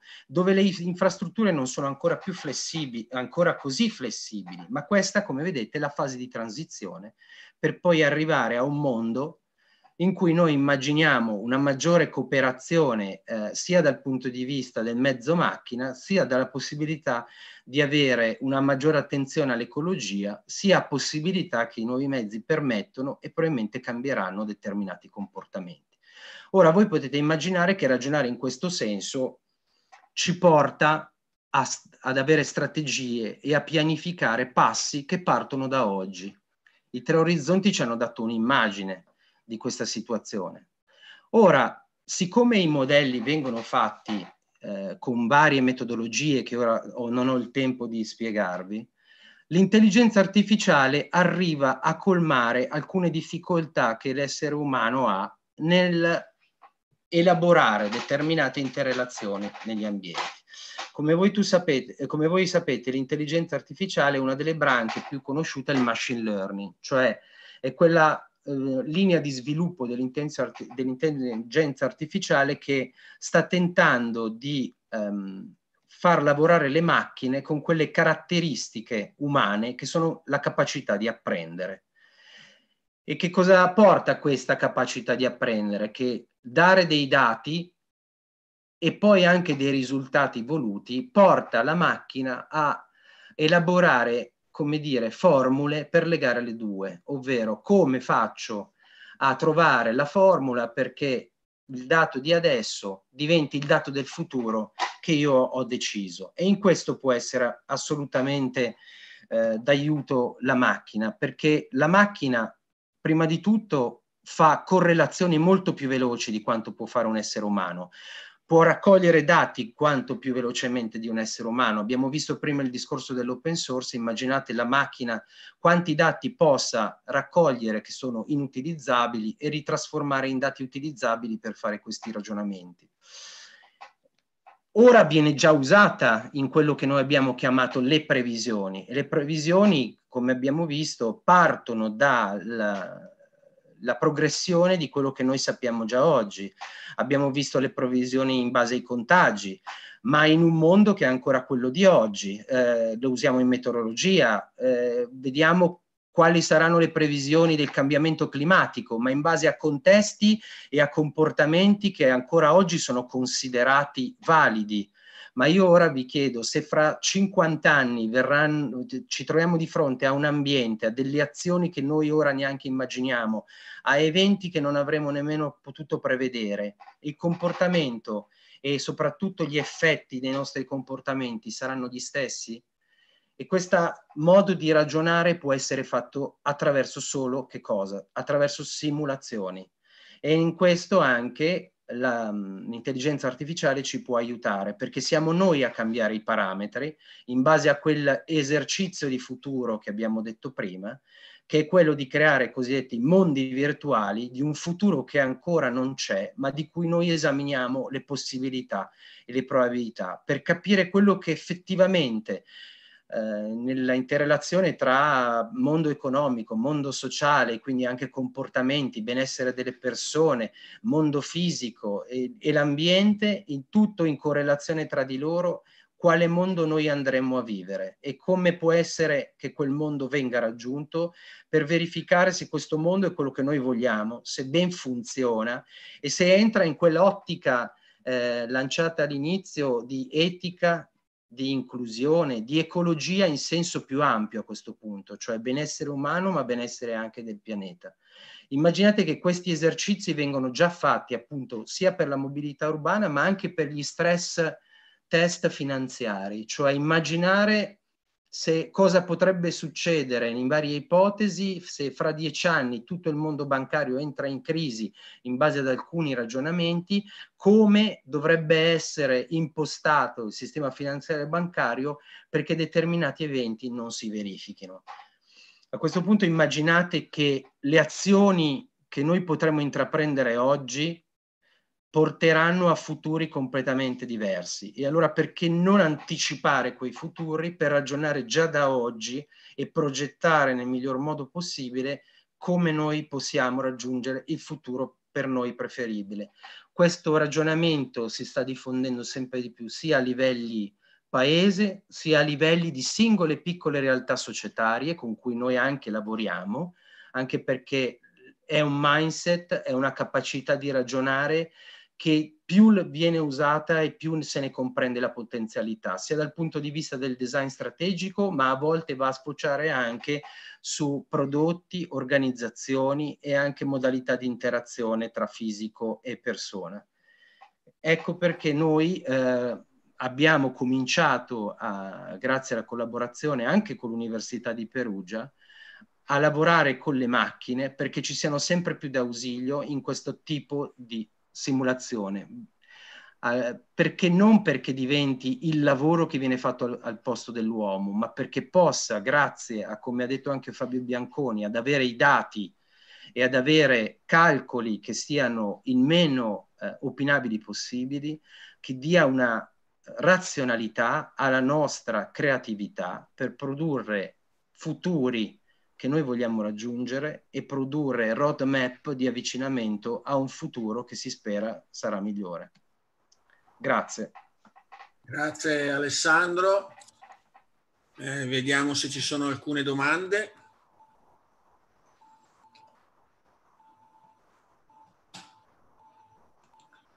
Allora, c'è una domanda che dice lo strategic foresight in azienda è radicalmente diverso tra un'azienda che può solo subire passivamente i cambiamenti come una PMI e un'azienda che potenzialmente può controllare alcuni fattori dell'ambiente esterno e quindi in parte gestire il futuro, come Apple o Amazon? Allora, l'esercizio di futuro è esattamente lo stesso il concetto è che ognuno interagisce nell'ambiente in base alle proprie possibilità. Quello che l'esercizio di futuro com- ehm, permette è di ragionare in fase anticipatoria e paradossalmente se la Apple ha strumentazione più potente non è detto che faccia degli esercizi di futuro più affidabili. Però io mi immagino solamente una PMI che va a ragionare come è stato posta la domanda, cioè solo Apple, solo Microsoft avranno sempre le armi per poter dominare il mercato. Ora, se io vado a immaginare il mercato tra 20 e 30 anni, a questo punto io sono quasi ad armi pari tra, con Apple e Microsoft. Chi dei due avrà lavorato meglio sul futuro in base alle sue possibilità e la sua capacità addirittura magari di disegnare un'azienda completamente diversa tramite la fase di transizione che abbiamo detto, potrebbe trovare delle sorprese piuttosto importanti nel determinare che fra 20 e 30 anni non si preoccuperà più di Apple e di Amazon perché non compete nemmeno sullo stesso mercato. Il ragionare sul futuro abbatte qualsiasi paradigma della continuità tra oggi e domani. Non so se ho risposto alla domanda. Mi dicono di sì. Ok. Eh, altra domanda, visto che l'argomento è relativo soprattutto al concetto di oggi, che quindi al tema dell'intelligenza artificiale, eh, qual è il, eh, il punto di forza che l'intelligenza artificiale può portare nel concetto del foresight? Il punto di forza dell'intelligenza artificiale sono tre. Allora, il primo è quello della raccolta e interpretazione dei dati, perché il foresight ovviamente attinge a qua, anche a dati di qualche cosa che è ancora invisibile, ma già si sta muovendo. È quello che alcuni chiamano la tasca del futuro, quello che è ancora messo in tasca e che non tutti riescono a vedere. Ma molte volte vuol dire avere la capacità di leggere i cosiddetti, non volevo usare un termine universalmente abusato che sono i segnali deboli e che molti trascurano, sono i rumori di sottofondo di qualcosa che si sta già verificando ma tutti quanti ignoriamo, perché tutti si buttano a considerare quello che è già un trend. Invece alcune cose non sono affatto un trend. E la raccolta dei dati di intelligenza artificiale aiuta a farla in maniera veramente proficua, perché immaginate di leggere migliaia e migliaia di open source e riuscire a cogliere questi segnali. La, prim- la seconda cosa che l'intelligenza artificiale aiuta è le probabilità e gli impatti delle probabilità. L'intelligenza artificiale è bravissima a fare conti, a determinare probabilità e a calcolare gli, inventi, gli eventi che originano da determinate probabilità. Ecco che mi aiuta soprattutto nella fase previsionale. In molti casi, ad esempio, se io dovessi pro- programmare eh, evacuazioni da aree in cui ci sono inondazioni, il calcolo della probabilità in base alle mie scelte mi aiuta l'intelligenza artificiale a lavorare nel migliore dei modi. Il terzo aspetto è quello della simulazione, perché se io da, da uomo creativo immagino che esista un certo ambiente un certo comportamento delle persone, una certa tecnologia, la macchina mi aiuta a vedere la coerenza del mondo che io ho creato, cioè se io ci sono certi comportamenti, è vero che ci saranno certi effetti sull'ambiente, lavorando su calcoli e probabilità mi aiuta a fare meglio i conti di quello che io ho progettato. Ok, perfetto. Non ci sono altre domande e quindi io passerei al... Ringrazio per l'attenzione e saluto. Grazie. Allora, il prossimo intervento è quello di Gabriella Amenduni di Ludotic. Eh, il suo intervento si intitola Smart e insegno, coprogettazione coprogettare un'intelligenza artificiale al servizio degli insegnanti. Gabriele è UX designer presso Ludotic, agenzia di esperti in ergonomia e UX design con sede a Nizza. Tre anni di esperienza nella progettazione di IHM, laurea magistrale in Human Computer Interaction dell'Università di Trento.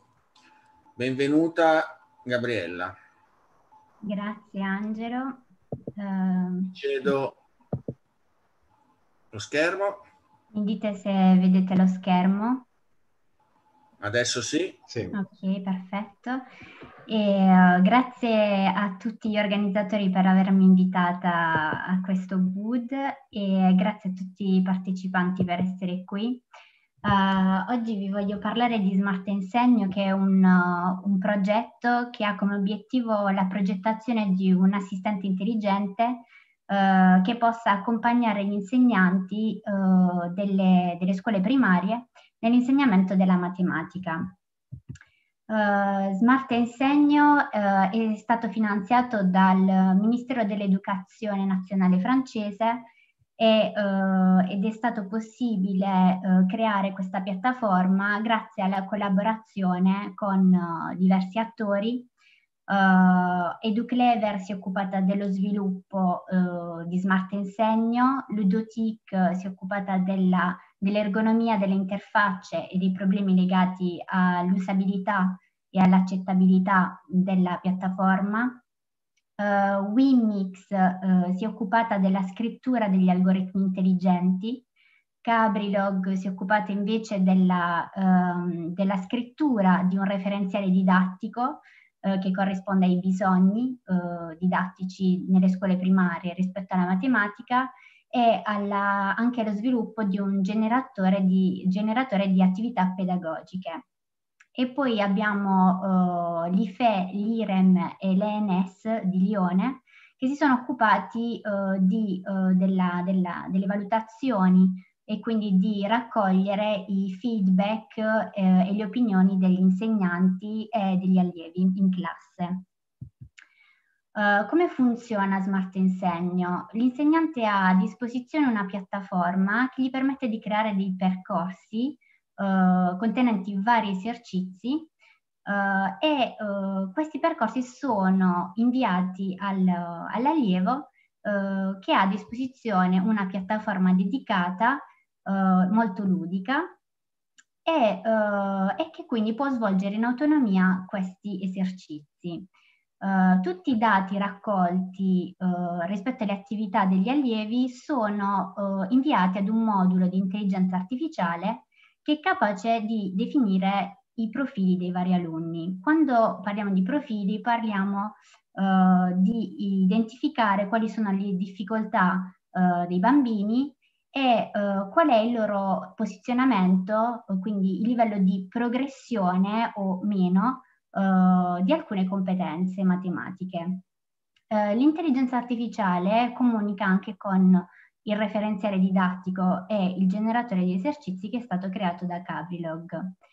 Um, vi, vi, mostro uh, qui una, uh, la, la, dashboard che abbiamo messo a disposizione degli insegnanti.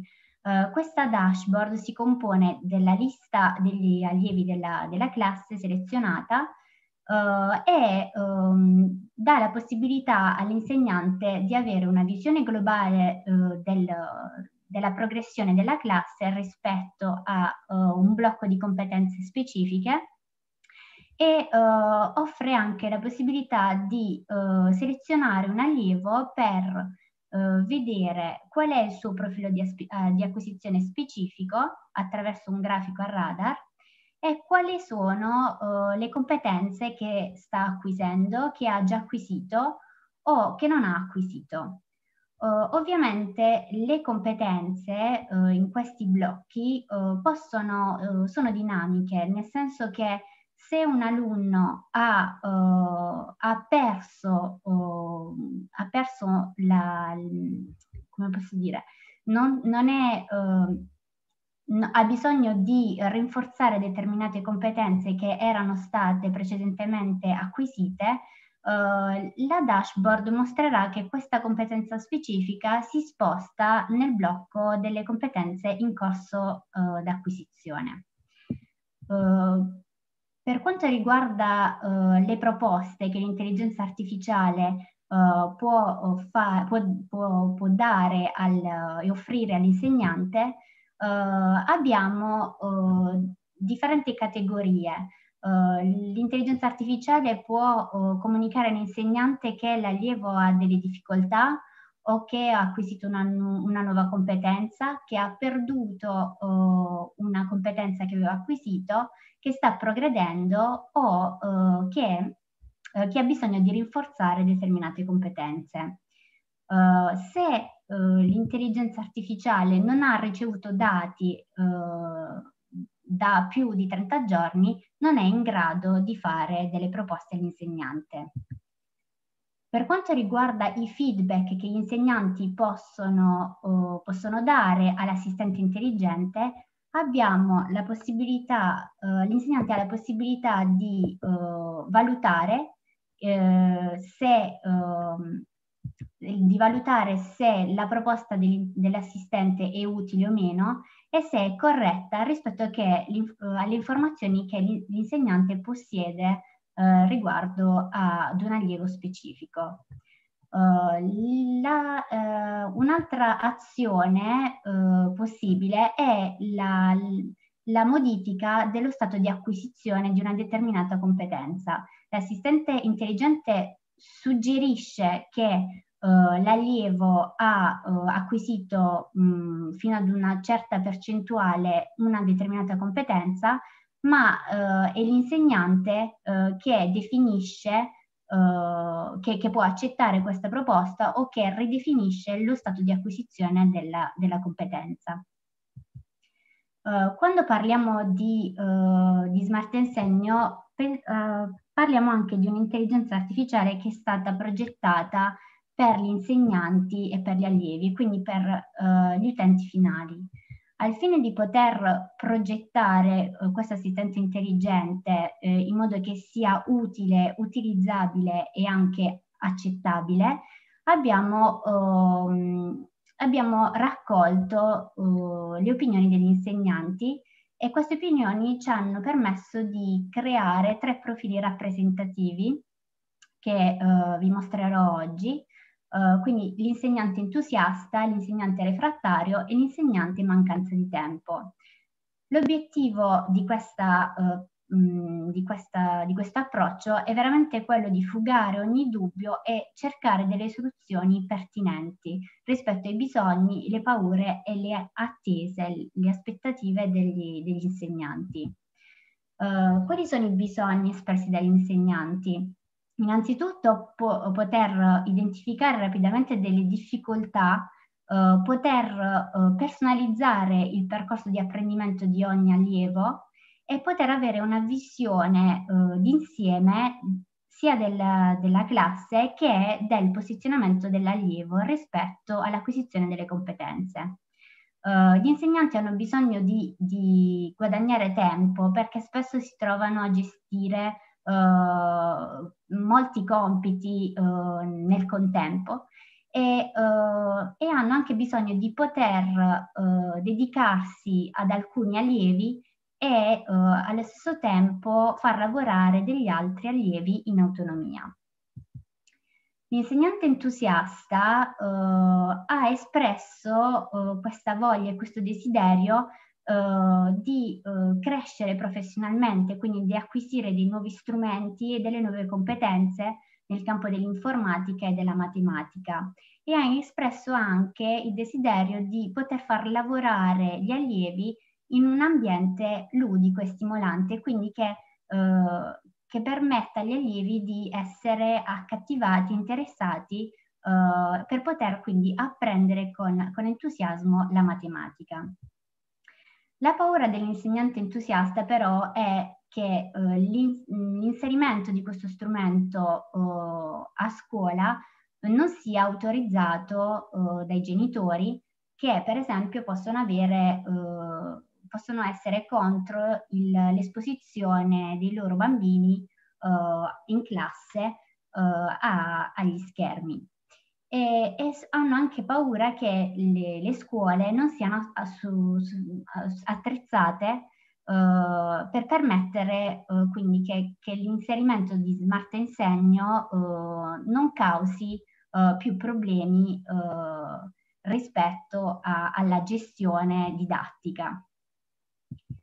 L'insegnante refrattario uh, ha altre aspettative, uh, ha bisogno di essere accompagnato e assistito nella comprensione e nell'utilizzo della piattaforma e ha bisogno che l'allievo uh, possa lavorare in un ambiente sereno e non dispersivo Uh, quindi sapere che uh, non si tratta di un gioco ma uh, di, un, di, un, vero e proprio apprendimento.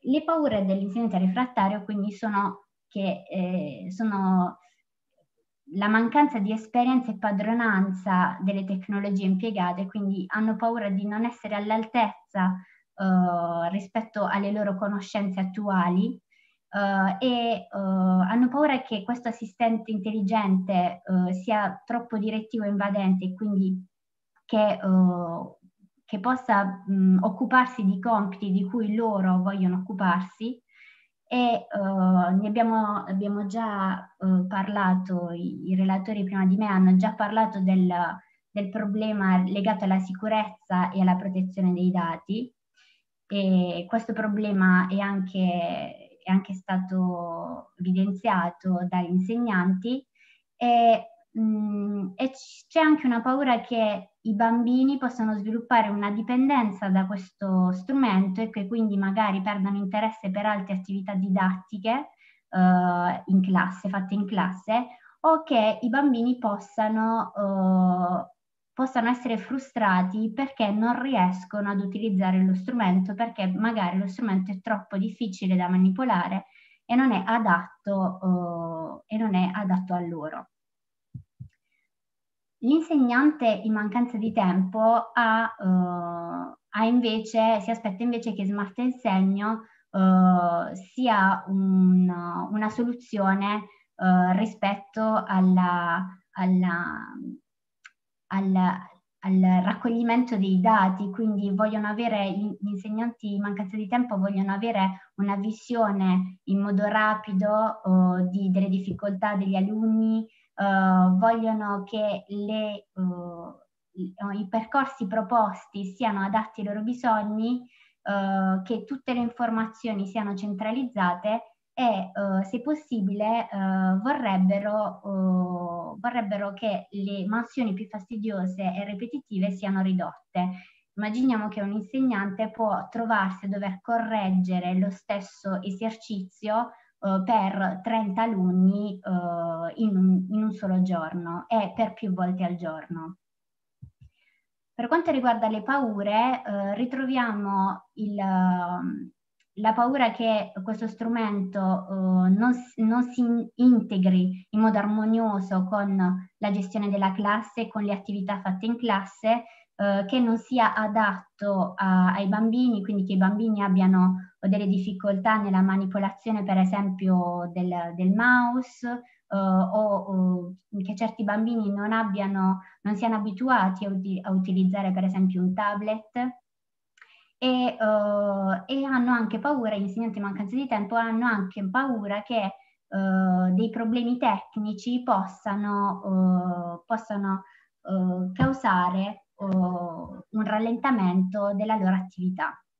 Ovviamente l'obiettivo de, di, di, questi profili è uh, di, di, di, creare questi profili non, non è di, scoraggiarci e, e, pensare ci sono molti, molti problemi che possono insorgere, uh, ma è piuttosto cercare di, prevenire che questi problemi si verificano e cercare di eh, quindi accompagnare al meglio tutti gli utenti e tutte le persone coinvolte, quindi gli insegnanti, gli alunni e i genitori.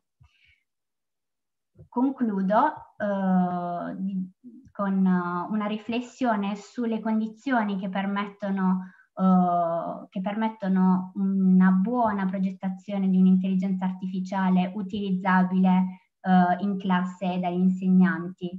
Uh, visto che l'intelligenza artificiale può essere fallibile, è comunque necessario eh, rinforzare un senso critico, un senso di responsabilità dalla parte degli insegnanti. È importante anche che ci sia una sens- sensibilizzazione eh, globale e che eh, vengano bien, eh, ben eh, valutati eh, gli impatti che l'inserimento di questo strumento può avere uh, su, uh, sugli utenti. Grazie mille per la vostra attenzione. Grazie Gabriella, sei stata perfettamente... Grazie. ci hai aiutato a recuperare un po' il ritardo che avevamo accumulato. Spazio alle domande per Gabriella.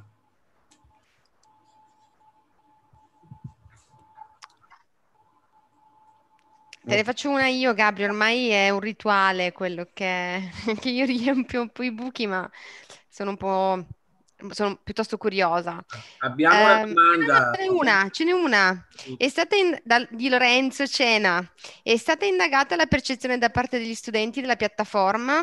Come avrebbe poi l'introduzione effettiva all'interno del programma scolastico? Come avviene, avverrebbe poi l'introduzione effettiva all'interno del programma scolastico? Grazie.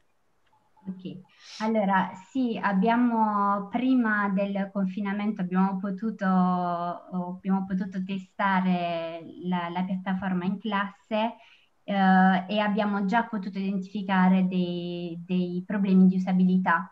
E, è stato molto curioso vedere, vi faccio un esempio, i bambini dovevano uh, fare un esercizio in cui c'erano delle barre di cioccolato da contare e dovevano scrivere il risultato, quindi qu- quante barre di cioccolato erano presenti. E, uh, noi a- avevamo pensato ad una, ad una quindi un, una, come, posso, come posso dirlo, semplicemente a inserire in un campo di testo uh, il risultato e i bambini hanno cominciato a utilizzare il, il supporto era un tablet, hanno cominciato a cercare di scrivere sul tablet il, il numero con, con, le dita o alcuni hanno anche eh, preso delle le barre di cioccolato e hanno cercato di formare il numero con le barre di cioccolato. Quindi è molto interessante vedere come i, i bambini Uh, interagiscono con, con, l'interfaccia e questo ci permette ovviamente di adattare uh, gli elementi uh, dell'interfaccia ai loro bisogni um, e, e, adesso siamo ancora in fase di ricerca, quindi le valutazioni sono, continuano ad essere fatte, ma dagli insegnanti. Quindi gli insegnanti possono iscriversi al, alla piattaforma Smart Insegno e possono far utilizzare uh, um, la piattaforma ai bambini e poi eh, sono gli insegnanti che ci restituiscono le informazioni perché noi non possiamo più uh, purtroppo andare in classe. E per quanto riguarda la, la seconda domanda, Uh, non sappiamo ancora, non, non, non, stiamo ancora pensando a, a questa mh, integrazione in classe perché uh, non sappiamo se passeremo alla fase 2 del progetto, che quindi è la fase di eh, industrializzazione. E per adesso siamo in fase 1 e speriamo che a fine dicembre saremo selezionati per andare avanti. Auguri per questo. Eh, bellissimo aneddoto sull'usabilità, grazie mille, dice Lorenzo. Ma, eh, ho, ho, visto la tua presentazione di un progetto finanziato, quindi immagino che rientri in un programma di, di sviluppo innovativo de, dei vari enti che sono coinvolti, ma come mamma di una bimba di 8 anni che ha vissuto e sta vivendo questo 2020, non, non posso che sperare e raccogliere strumenti di supporto digitali perché abbiamo avuto un lapse, un buco. Ehm, nei, nei, mesi scorsi e speriamo di scongiurarlo per i prossimi, eh, di qualsiasi cosa che, che, che, sia smart a livello di educazione, soprattutto a distanza. Abbiamo fatto una fatica incredibile a, a gestire le connessioni, a gestire il contatto con la classe, a gestire un'ora alla settimana di no, non insegnamento ma di collegamento. Quindi è, è, arrivato il momento di pensare a, a a, a, strumenti veramente a supporto alla didattica intelligenti, perché il sistema scolastico, non conosco molto bene quello francese, ma quello italiano in alcuni casi ha fatto un, un po' fatica mm. in questo periodo. Quindi... Mm, il problema che si pone è uh, la disparità rispetto alle attrezzature, non tutte le famiglie dispongono delle stesse attrezzature e, e quindi uh, c'è un problema di inclusione a tenere in conto rispetto, rispetto a quello che dici. Uh, perché appunto Smart Insegno è pensato per essere utilizzato in classe, ma è vero che c'è anche un altro bisogno uh, che è, rel- è, relativo alla didattica online. Sì. Io avevo una domanda, eh, la domanda è in, nel, nella presentazione abbiamo visto che eh, sostanzialmente i due attori che avete preso, i due user che avete preso in considerazione sono l'insegnante e l'alunno. Eh, l'algoritmo prevede anche di prendere più insegnanti come squadra e quindi eh, non solo aiutare l'alunno a imparare, ma anche l'insegnante a insegnare? Uh, sì, nel senso che l'obiettivo è anche quello di, di accompagnare l'insegnante perché eh, diciamo che loro hanno, una, hanno veramente tante informazioni da dover considerare e hanno bisogno anche di essere guidati e soprattutto eh, comprendono l'importanza di un apprendimento personalizzato quindi che non, non vogliono più procedere per un, un, insegnamento lineare, quindi dare agli allievi una serie di, di esercizi uno dopo l'altro senza sapere quali sono magari gli esercizi di cui gli allievi hanno bisogno e spesso non possono in maniera immediata e rapida identificare uh, i bisogni specifici di ogni alunno. Okay. E, e il, e il fatto di avere questi dati per l'insegnante può essere un vantaggio nel, nel gestire il piano formativo come, come equip e non, uh, team e non singolarmente? Uh, non, non, non, abbiamo ancora parlato di, di collaborazione tra insegnanti. Quindi per adesso la piattaforma è, mh, è dedicata ad un insegnante singolo, uh, ma non è, in effetti non c'è questa, uh, questa visione che connette gli, i vari insegnanti, anche se abbiamo notato che naturalmente gli insegnanti volontari che hanno partecipato sono insegnanti che si sono confrontati l'un l'altro e quindi che, che, hanno, che hanno anche poi dopo avuto modo di scambiare tra, tra di loro uh, in maniera autonom- autonoma senza che, senza, insomma, che l'avessimo previsto. Ok, grazie. Grazie. Prego, Ci sono altre domande? Ok. Per adesso no. Visto che stiamo andando verso la conclusione, chiediamo ai relatori, quelli che sono rimasti svegli, di accendere la telecamera. Grazie Gabri. Grazie a te. Grazie Gabri. Grazie. Angelo. Ok.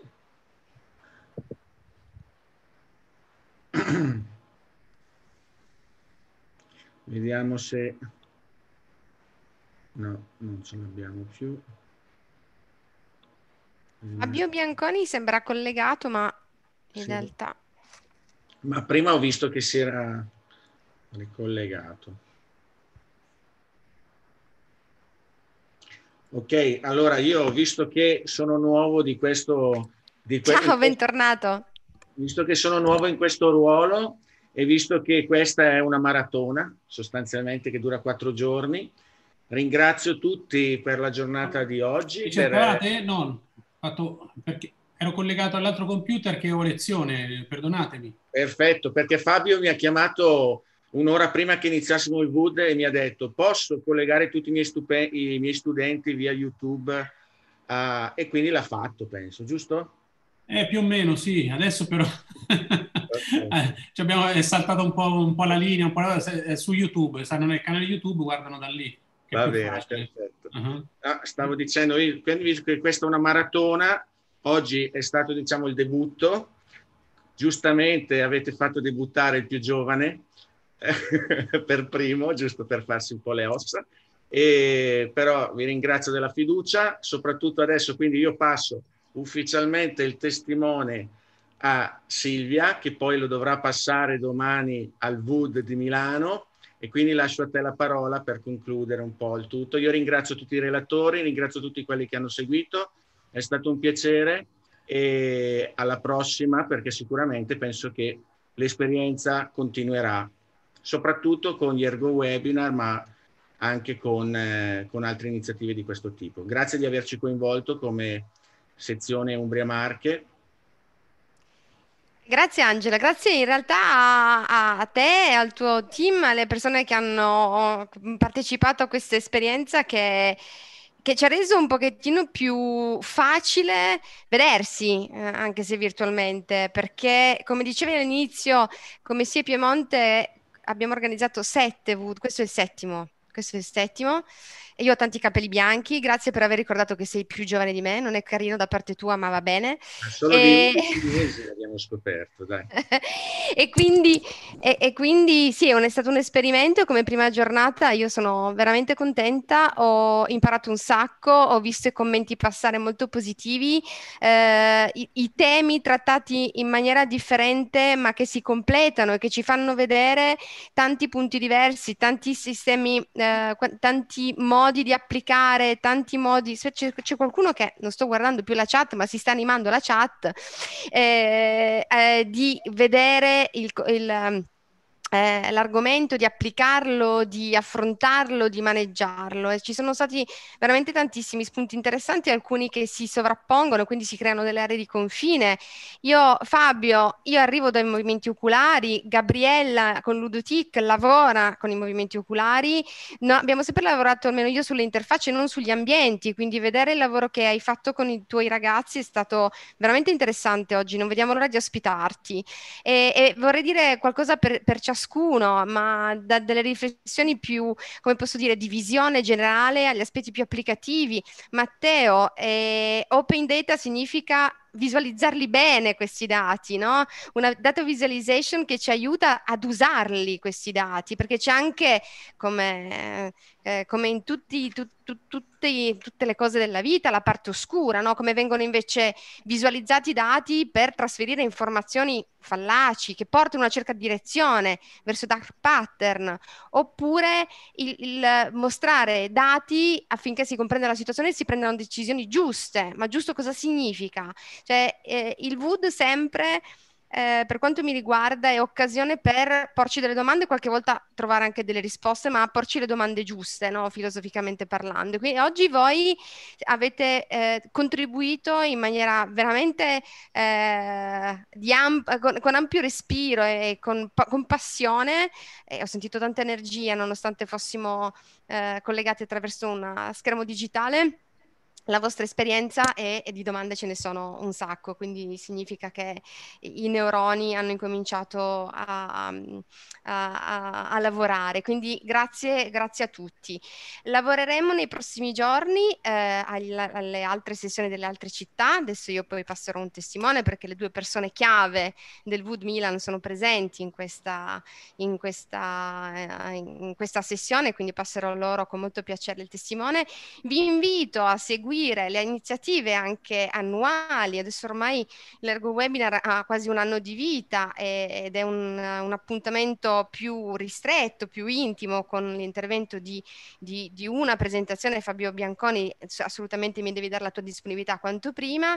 E abbiamo avuto dei picchi molto interessanti di partecipazione oggi. Abbiamo, eh, siamo arrivati a circa 63 persone collegate su Zoom e 26 collegate su, tramite YouTube e quindi devo dire che insomma eh, il nostro pensiero, la nostra attività e le nostre parole eh, sono arrivate in tanti, pus- in tanti posti eh, diversi. Spero che ci siano poi dei feedback di tutto questo, oltre a quelli che si, sono, che si stanno scambiando qui adesso. Quindi grazie, grazie a tutti, eh, grazie al professor Pier Lorenzi, grazie, giornata molto positiva, è stato molto interessante, visioni innovative, molto bene, bravo Angelo e tutto il team, una panoramica ampia, interessante, ottima iniziativa di una Usability Week, grazie, grazie a tutti per gli interventi interessanti, bella iniziativa, vi seguirò con piacere. Quindi i riscontri che abbiamo sono del tutto positivi, grazie ai relatori, grazie ai partecipanti. Federica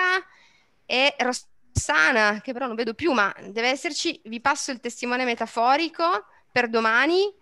Noi ci rivediamo giovedì e venerdì e poi successivamente con gli Ergo Webinar. Grazie ancora, restiamo in contatto.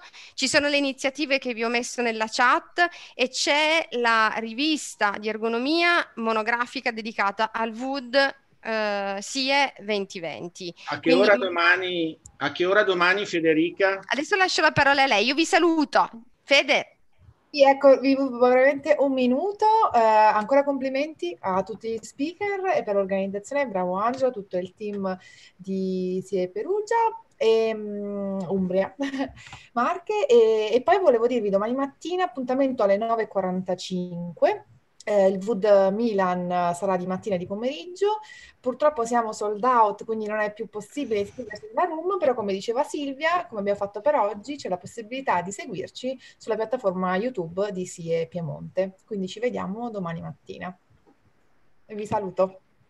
Per la rivista Tempi per l'articolo, scrivimi scrivimi eh, sie piemonte gmail.com diamo tutte le informazioni fino a fine mese c'è tempo comunque Scriveteci okay. perché abbiamo avuto questa occasione che dobbiamo assolutamente cogliere. Ciao a tutti, ciao Angelo, ciao Francesco, ciao, ciao Gabri, Silvia. ciao Silvia, grazie. ciao Alessandro, ciao a tutti. a tutti. Buona serata. Grazie, grazie. buon lavoro, ciao, buona grazie. serata. Grazie. Ciao. Grazie. Complimenti.